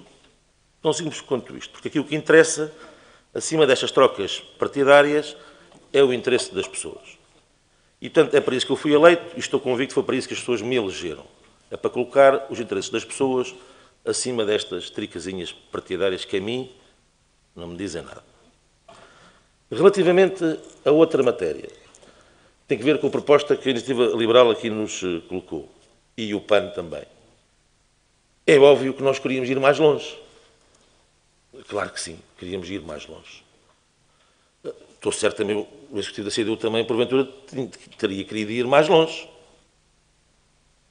Eu não coloco na questão do equilíbrio financeiro e do equilíbrio orçamental da Câmara. É claro que coloca sempre, ora, se eu vou perspectivar mais de meio milhão de euros de quebra da arrecadação de receita, eu vou ter que ir à despesa e vou ter que ir compensar essa diminuição de mais de meio milhão de euros. Isto é a regra básica de qualquer eh, composição de um orçamento, seja ele qual for, até das nossas casas. A questão aqui concreta é as respostas que nós temos que dar aos municípios num conjunto de investimentos, num conjunto de, inici de iniciativas, naquilo que é o nosso propósito, que é a criação de bem-estar e de qualidade de vida às eh, pessoas. Há, para além disto, acresce um conjunto de despesas extraordinárias, vamos ter a oportunidade de as falar a quando a discussão do orçamento para 2022, que surgiram e que nós vamos ter que dar cabimento do ponto de vista uh, orçamental para a sua execução. E estou-lhe a falar de milhões de euros que nós vamos ter que acomodar num orçamento para 2022 de, despesas, de despesas extras que, confesso, há quatro meses atrás ou há cinco meses atrás, quando estava em campanha eleitoral, nunca pensei que elas tivessem que ser necessárias incluí-las agora no orçamento para 2022. Mas, como disse bem a Sr. Deputado Municipal, teremos toda a oportunidade para discutir isso quando o orçamento para 2022. Ora, por isso e por aquilo que agora acabei de expor, não consigo ir mais longe do que estas três milésimas. E vai ter a oportunidade, quando da discussão do Orçamento de 2022, lembrar-se daquilo que eu ainda agora acabei de dizer. Mas caso não se, não se lembre, eu próprio irei relembrar. E por isso, dizer ao Secretário Municipal de Iniciativa Liberal, a utopia das políticas fiscais é uma coisa que podíamos ter uma discussão agora aqui muito grande. A questão que se coloca é, é esta. Para 2022 é isto que nós vamos propor. Com lógica orçamental, com uma lógica de prudência, com uma lógica de compromisso para com o bem-estar e qualidade de vida das pessoas, o que estou a assumir é para 2022. Se tiver condições para tal, e se não aparecerem estas despesas extraordinárias como vão aparecer para o orçamento de 2022, vamos continuar a fazer uma descida progressiva do IMI e do, e do IRS, porque, ao fim é para benefício das eh, pessoas. Muito obrigada, Sr. Presidente. Julgo que terminamos então a nossa discussão e estamos então em condições de votar as taxas eh, que serão aplicadas ao IMI em 2022 com a redução progressiva de que o Sr. Eh, Presidente da Câmara acabou de nos referir. Quem vota contra? Chega. Quem se abstém? Quem vota a favor? As demais forças políticas. Portanto, a proposta de IMI para 20, 2022 está aprovada por maioria, apenas com o voto contra do Chega. Temos de seguida o ponto relacionado com a derrama 2021. Peço desculpa, declaração de voto. Tânia Mateus. Peço desculpa, é rápido. Pedia que os serviços transformassem as minhas eh, intervenções em declaração de voto. Obrigada. Muito bem, depois com a vossa ajuda também. Exatamente. Junto dos serviços. Exatamente. Obrigada. Temos então agora o ponto relacionado com a derrama de 2021, a cobrar em 2022, proposta também da Câmara Municipal. E eu perguntava ao Sr. Presidente se deseja apresentar o ponto, se reserva para questões. Não, não, assim, de uma forma muito, muito rápida, se o Sr. Presidente me permite e me dá a palavra, dizer o seguinte. Uh, basicamente, uh, aqui o IRS também de uma forma muito rápida, já foi brevemente colocada na apresentação anterior.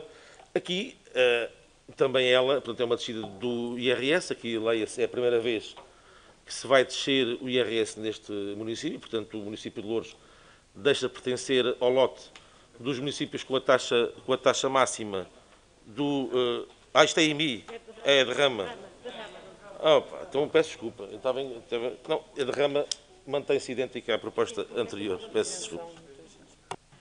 Por isso é que eu tinha perguntado ao Sr. Presidente se, se resolve intervenções. Faz mal. Alguma questão sobre este ponto de derrama?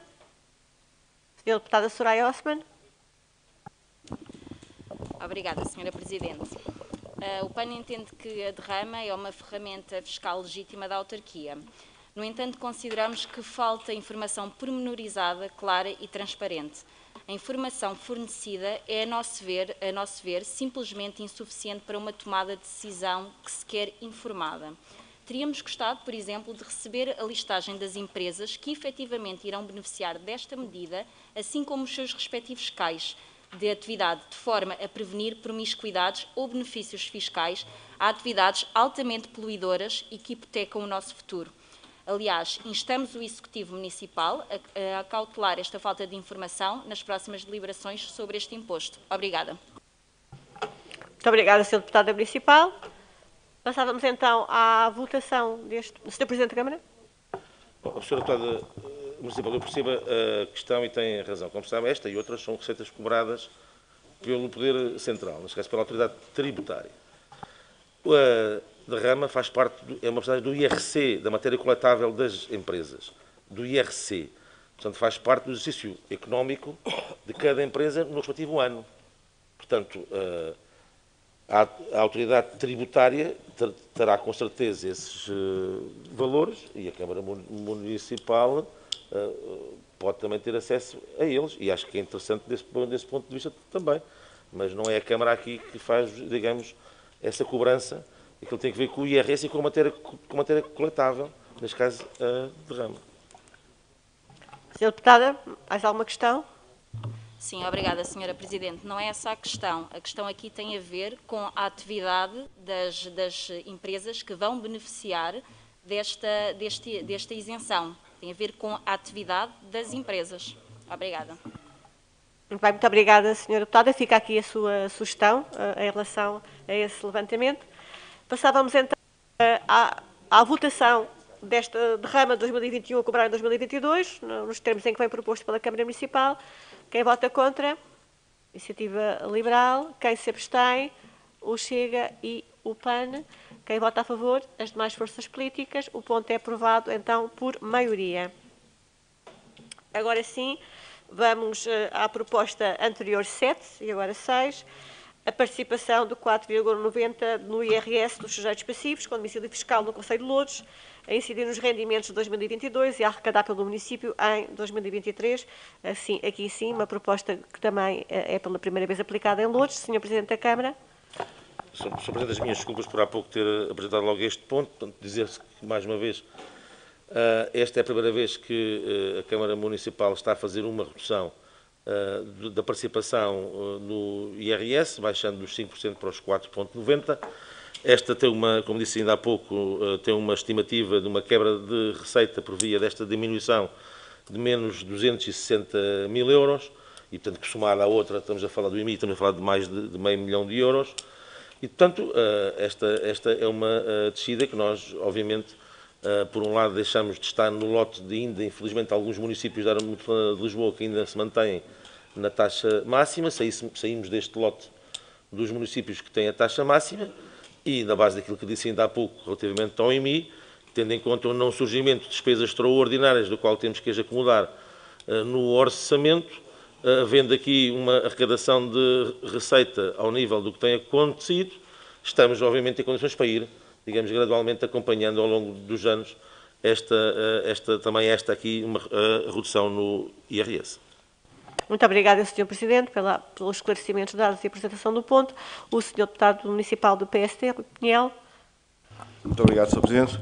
Um, quando, quando muitos preocuparam em, em, em, dizer e até meter algumas fotografias uh, com os tachos e com as panelas, uh, quanto ao facto do PSD ter entrado, uh, ter de alguma forma feito um acordo de estabilidade com, com o PS para a governação da Câmara, isto é a resposta também que nós damos, que é justamente uma das nossas propostas que nós temos insistido há muitos anos, que é a redução do IRS, poder finalmente avançar.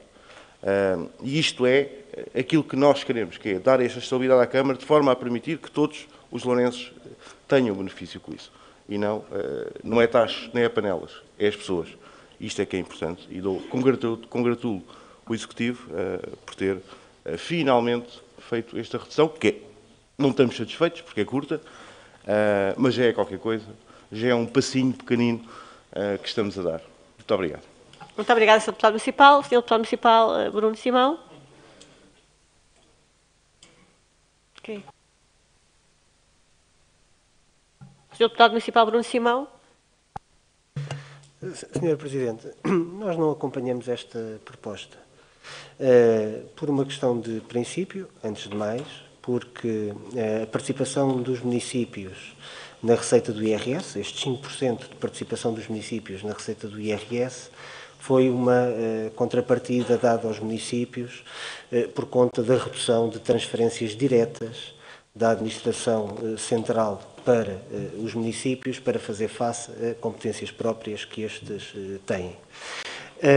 Por outro lado, esta modalidade de, de, redução no IRS, na taxa de IRS, comporta um outro problema, que é o problema de tornar o imposto eh, menos progressivo. Ou seja, esta despesa fiscal, por assim dizer, que o município vai ter ainda pequenina, não é? Muito aquém daquilo que os proponentes eh, já eh, propuseram nesta, nesta Assembleia, tem um efeito de, uh, contrário à redistribuição, ou seja, uh, a maior parte uh, do benefício dado por esta medida vai se concentrar nos escalões mais altos de rendimento.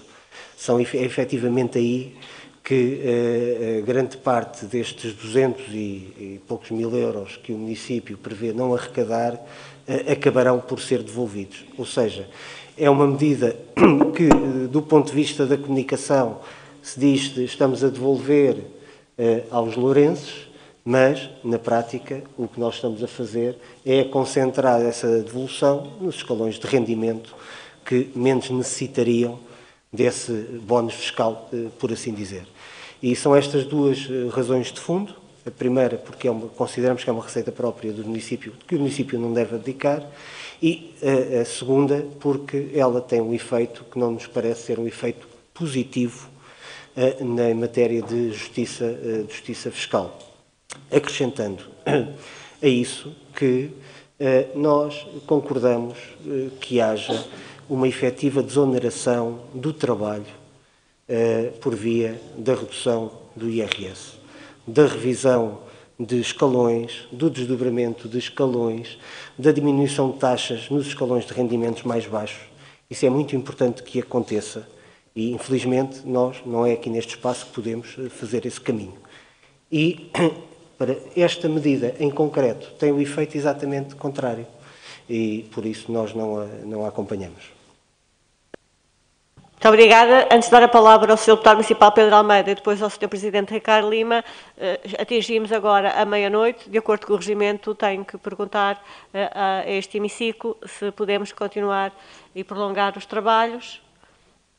Quem vota contra, quem se abstém, é aprovado então o Sr. Deputado Bruno Simão. Só para. Eh, a proposta é que prolonguemos até à uma da manhã, ou é que encerremos este ponto e uma vez que teremos necessariamente uma outra reunião eh, que demos por terminados os nossos trabalhos. Era a proposta que faria. Muito bem. Uh, portanto, a ideia é que nós pudéssemos ir um pouco, pelo menos mais meia hora para terminar quer o pacote fiscal, quer os restantes pontos e terminaríamos, uh, portanto, na, na, componente das eleições, que ficariam, portanto, os pontos relacionados com os conselhos municipais e com o ponto 1 ficariam para dia 22. Se conseguíssemos nesta meia hora que nos falta uh, ir para o resto dos pontos, eu penso que teremos condições nos próximos 30 minutos, tendo em conta que aquilo que era mais substantivo e mais eh, de discussão é, é o pacote fiscal está mesmo a terminar. Portanto, se concordarem, mais meia hora para terminarmos o resto dos pontos, ficando então, pois na componente eletiva, as urnas já estavam aí, estava tudo montado, mas está tudo feito, portanto, e fica, e fica para dia 22. Muito bem, sendo assim, uh, sendo assim, daria a palavra então ao Sr. Deputado Pedro Almeida e depois ao Sr. Presidente Ricardo Lima. Uh, não, me querendo repetir, repetir muito, no, no, nós, aqui, Portugal, uh, não, é, não quer falar de carga fiscal, mas de esforço fiscal. Nós somos o segundo país da União Europeia onde, é mais, onde custa mais aos contribuintes fazerem face às suas, face às suas obrigações fiscais. Uh, eu saúdo que pela primeira vez tenha mexido realmente aqui na questão do IRS, que até há pouco, até há pouco tempo era totalmente desconhecida, até da maior parte dos contribuintes, que não sabiam como é que isto funcionava. Mas estamos, mais uma vez, perante uma, uma, medida, uma medida simbólica. Esta descida de 0.1 acaba por ser, sobretudo, uma medida, uma medida simbólica. E um, o, os contribuintes, os contribuintes deste município, neste momento, precisam de mais do que medidas simbólicas. E, e, mais uma vez, desafio aqui o Executivo para que realmente seja muito mais ambicioso uh, aqui na diminuição da, da carga fiscal. Muito obrigada, Sr. Deputado. Sr. Presidente Ricardo Lima. Muito obrigado, Sra. Presidente. Antes de mais, quero congratular o Executivo Municipal por esta medida. Esta é uma medida que vinha no programa eleitoral do Partido Socialista e aqui estamos hoje, passado poucos meses temos tomado posse, a apresentar esta descida. É certo que esta, que esta descida aqui apresentada, que esta descida aqui apresentada, por aqui a máscara, peraí. Já me estavam a tirar a máscara. Uh, que esta descida aqui apresentada não é evidentemente a descida que gostaríamos de ter. Não é, eh, com certeza, a descida que hoje gostaríamos de estar aqui a apresentar. Contudo, é a descida eh, responsável, eh, baseada naquilo que é a responsabilidade de gerir e de fazer os devidos equilíbrios daquilo que é o orçamento municipal que temos para apreciar numa próxima reunião. E como aqui já foi dito pelo Sr. Presidente da Câmara, e estaremos o tempo e o momento para discutir esse mesmo ponto, há de facto eh, medidas ou, ou despesas extraordinárias que têm que ser incluídas em sede de orçamento municipal.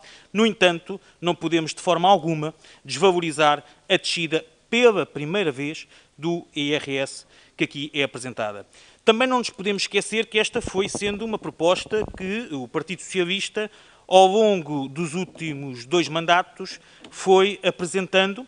Contudo, sempre fizemos esse claro entendimento e aceitamos essa legitimidade que foi sendo demonstrada e aquilo que era a, a, a, a intervenção da CDU em relação a esta matéria, que era uma questão ideológica, como aliás aqui há pouco ouvimos uh, na intervenção do. Deputado da CDU, que respeitamos, contudo não concordamos e por isso tínhamos que aqui hoje uh, demonstrar essa responsabilidade, mas também demonstrar a coerência em relação àquilo que foram as propostas que fomos fazendo no anterior mandato e também aquelas que apresentámos no, no nosso programa eleitoral.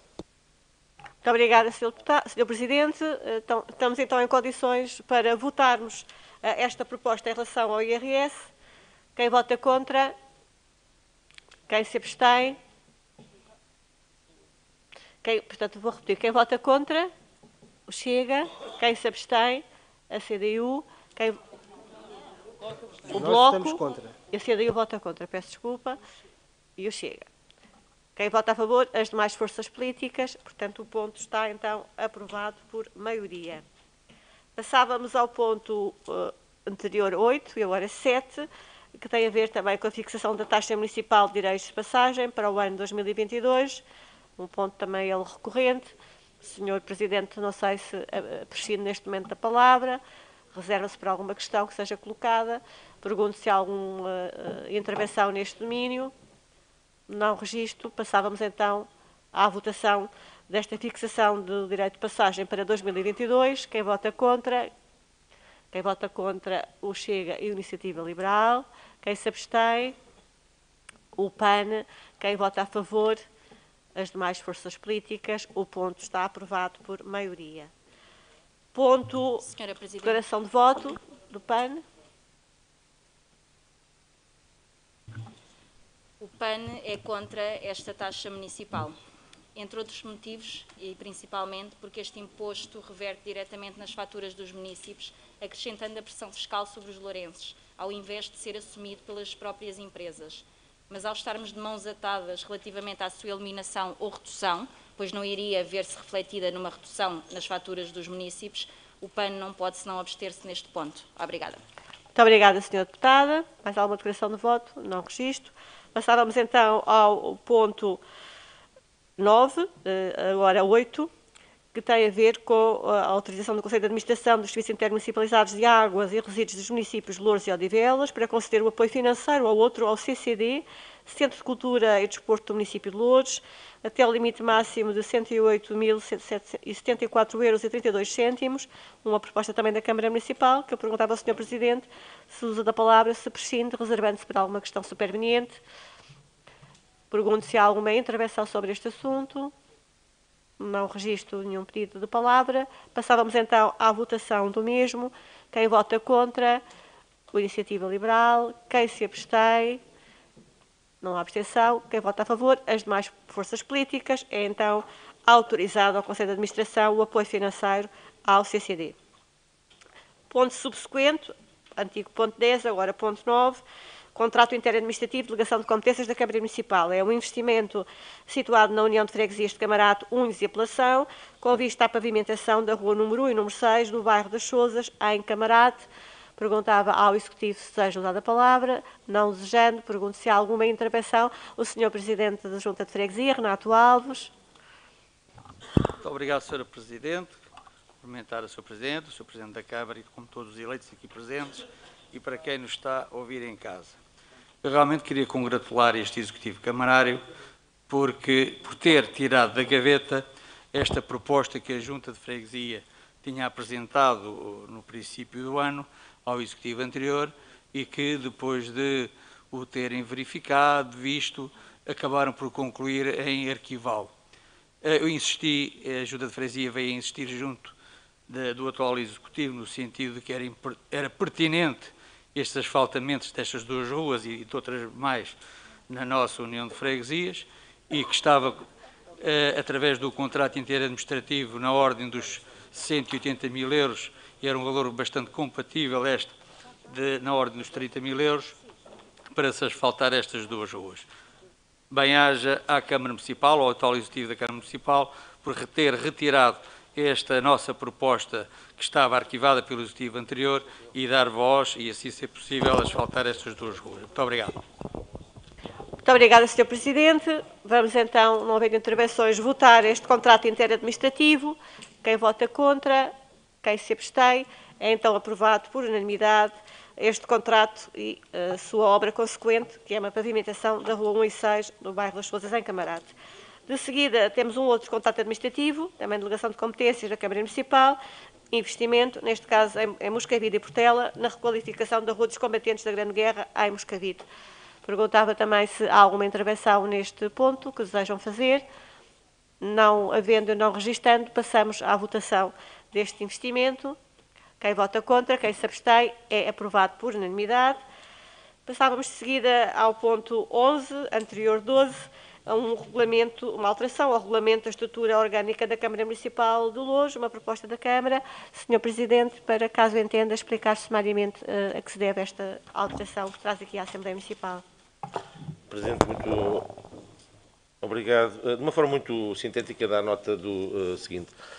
Aquilo que aqui a Câmara propõe uh, esta Assembleia Municipal é tão só no à criação de duas unidades orgânicas equiparadas à divisão, cada uma delas, com duas naturezas eh, distintas. Por um lado, uma tem que ver com a questão eh, prioritária que este município e este executivo quer dar a toda uma maior racionalização e uma maior uh, otimização no que é os fundos, quer ainda do PT 2020, do PT 2030 e do PRR, assumindo que são instrumentos determinantes para a resolução de muitos dos problemas estruturais eh, que o Conselho de Louros tem. E nesse sentido, pese embora Uh, ainda há pouco, e bem, aqui falámos sobre a questão do PT 2030, mas temos o PRR, que tem uh, uma capacidade enorme para uh, o município de Louros se poder, se poder, socorrer para um conjunto de investimentos que são necessários para o nosso Conselho, entendeu este Executivo Municipal propor a esta Assembleia Municipal a criação desta unidade, onde vai, de alguma forma, centralizar tudo o que é os fundos comunitários, eh, tudo o que é o PRR nesta unidade. É com recurso interno, com técnicos da Câmara, eh, que vamos, eh, desta forma assim, centralizar tudo o que tem que ver com estes instrumentos financiadores dos quadros comunitários.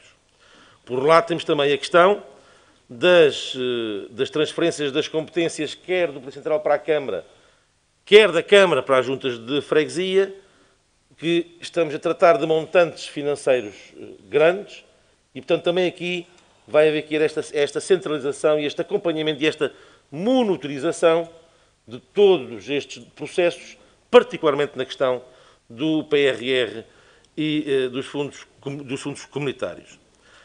Esta, esta unidade também tem uma particularidade importante que importa aqui dar nota, que passará também a dar apoio àquilo que, por decisão do atual governo, pela primeira vez, as juntas de freguesia vão também elas poder se candidatar aos fundos comunitários.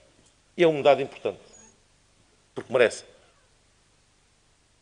E por isso, a Câmara Municipal, com esta estrutura agora também ela criada, vai dar esse apoio técnico às juntas de freguesia em tudo o que é a burocracia das candidaturas e do preenchimento das mesmas.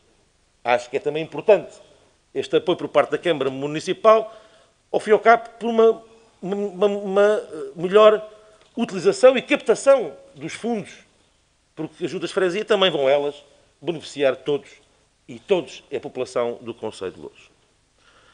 Por outro lado também, esta unidade trará aquilo que nós pretendemos, também todo esse apoio, porque de facto toda a literacia financeira necessária para o preenchimento destas eh, envolvências todas dos fundos comunitários é complexa. E por isso também esta unidade estará preparada para dar um apoio necessário às nossas IPSS e às nossas corporações de bombeiros para que também elas possam utilizar e possam aproveitar ao máximo tudo o que é esta oportunidade que o quadro PT 2030 e que o PRR nos vai colocar. E por isso achamos da maior pertinência a criação desta unidade para, de forma eficaz e de forma eficiente, possamos uh, uh, tratar, monitorizar tudo o que é estes instrumentos financiadores decisivos para o futuro do nosso Conselho. A outra unidade que estamos aqui a tratar é para a criação digamos, para, e ali se centraliza tudo o que tem que ver com as Jornadas Mundiais da Juventude. É o maior evento, porventura não estaremos cá, o maior evento sempre, onde Louros vai ser palco desse evento enorme, de projeção incalculável, que são as Jornadas Mundiais da Juventude, para os mais ou menos crentes.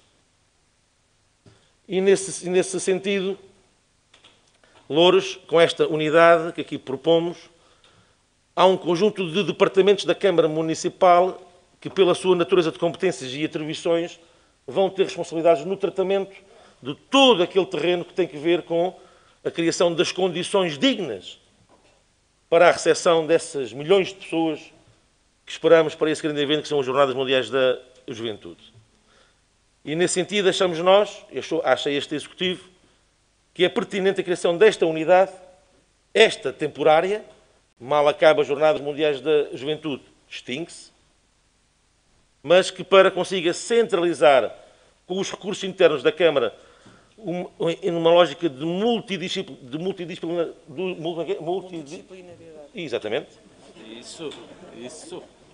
Fazer com que os vários serviços da Câmara Municipal possam estar aqui centralizados nesta unidade e possam responder de uma forma rápida, porque é urgente, é pertinente e teremos oportunidade, num futuro muito próximo, abordar esta matéria, tendo em conta os procedimentos que vão ser necessários lançar-se para dar resposta a essas condições dessa dignidade que queremos receber as pessoas e achamos nós da maior pertinência a criação desta unidade para que, de facto, consigamos responder de forma positiva àquilo que nos compete a nós, Louros, fazer para a realização das Jornadas Mundiais da Juventude. Repito, esta unidade termina, extingue-se a partir do momento em que se termina as Jornadas Mundiais da Juventude.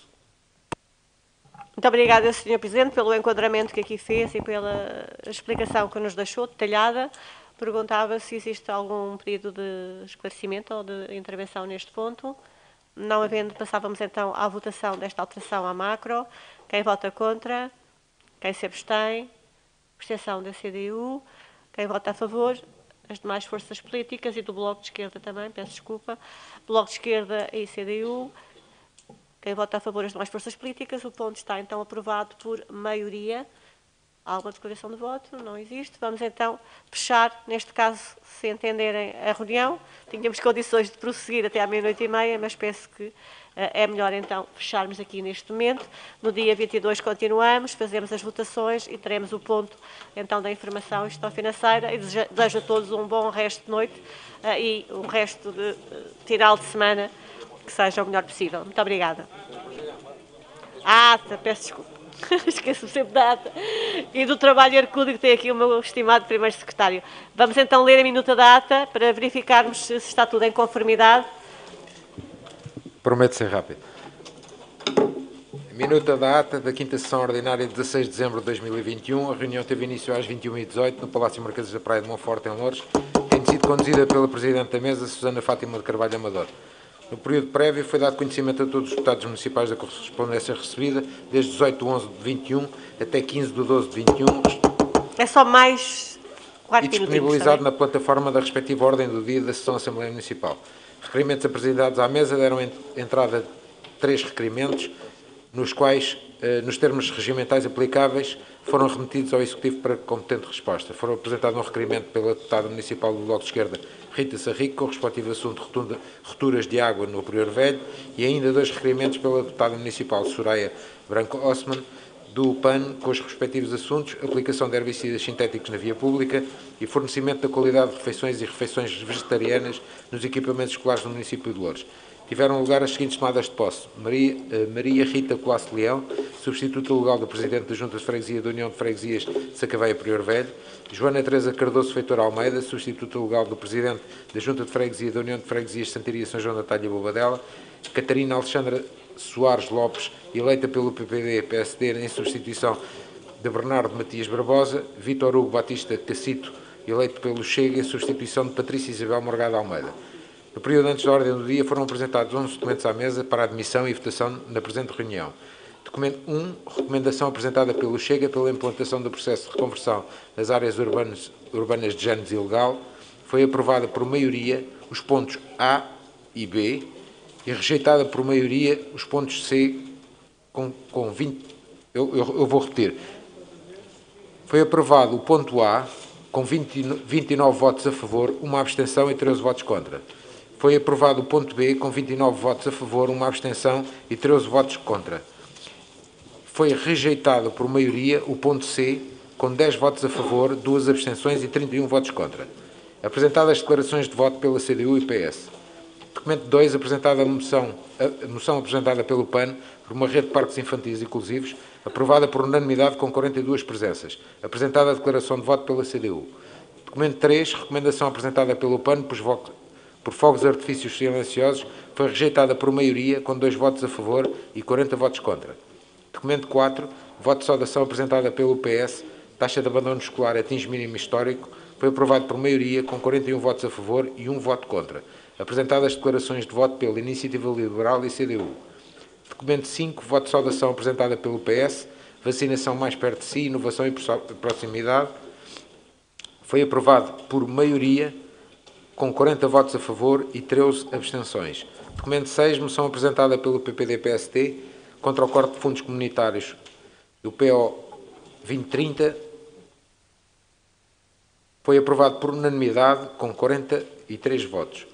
Apresentada a declaração de voto pelo PAN. Documento 7, recomendação apresentada pelo PPD-PSD, viaturas elétricas, aprovado por maioria, com 28 votos a favor e 15 abstenções. Apresentadas as declarações de voto pela CDU, PS, Bloco de Esquerda e PAN.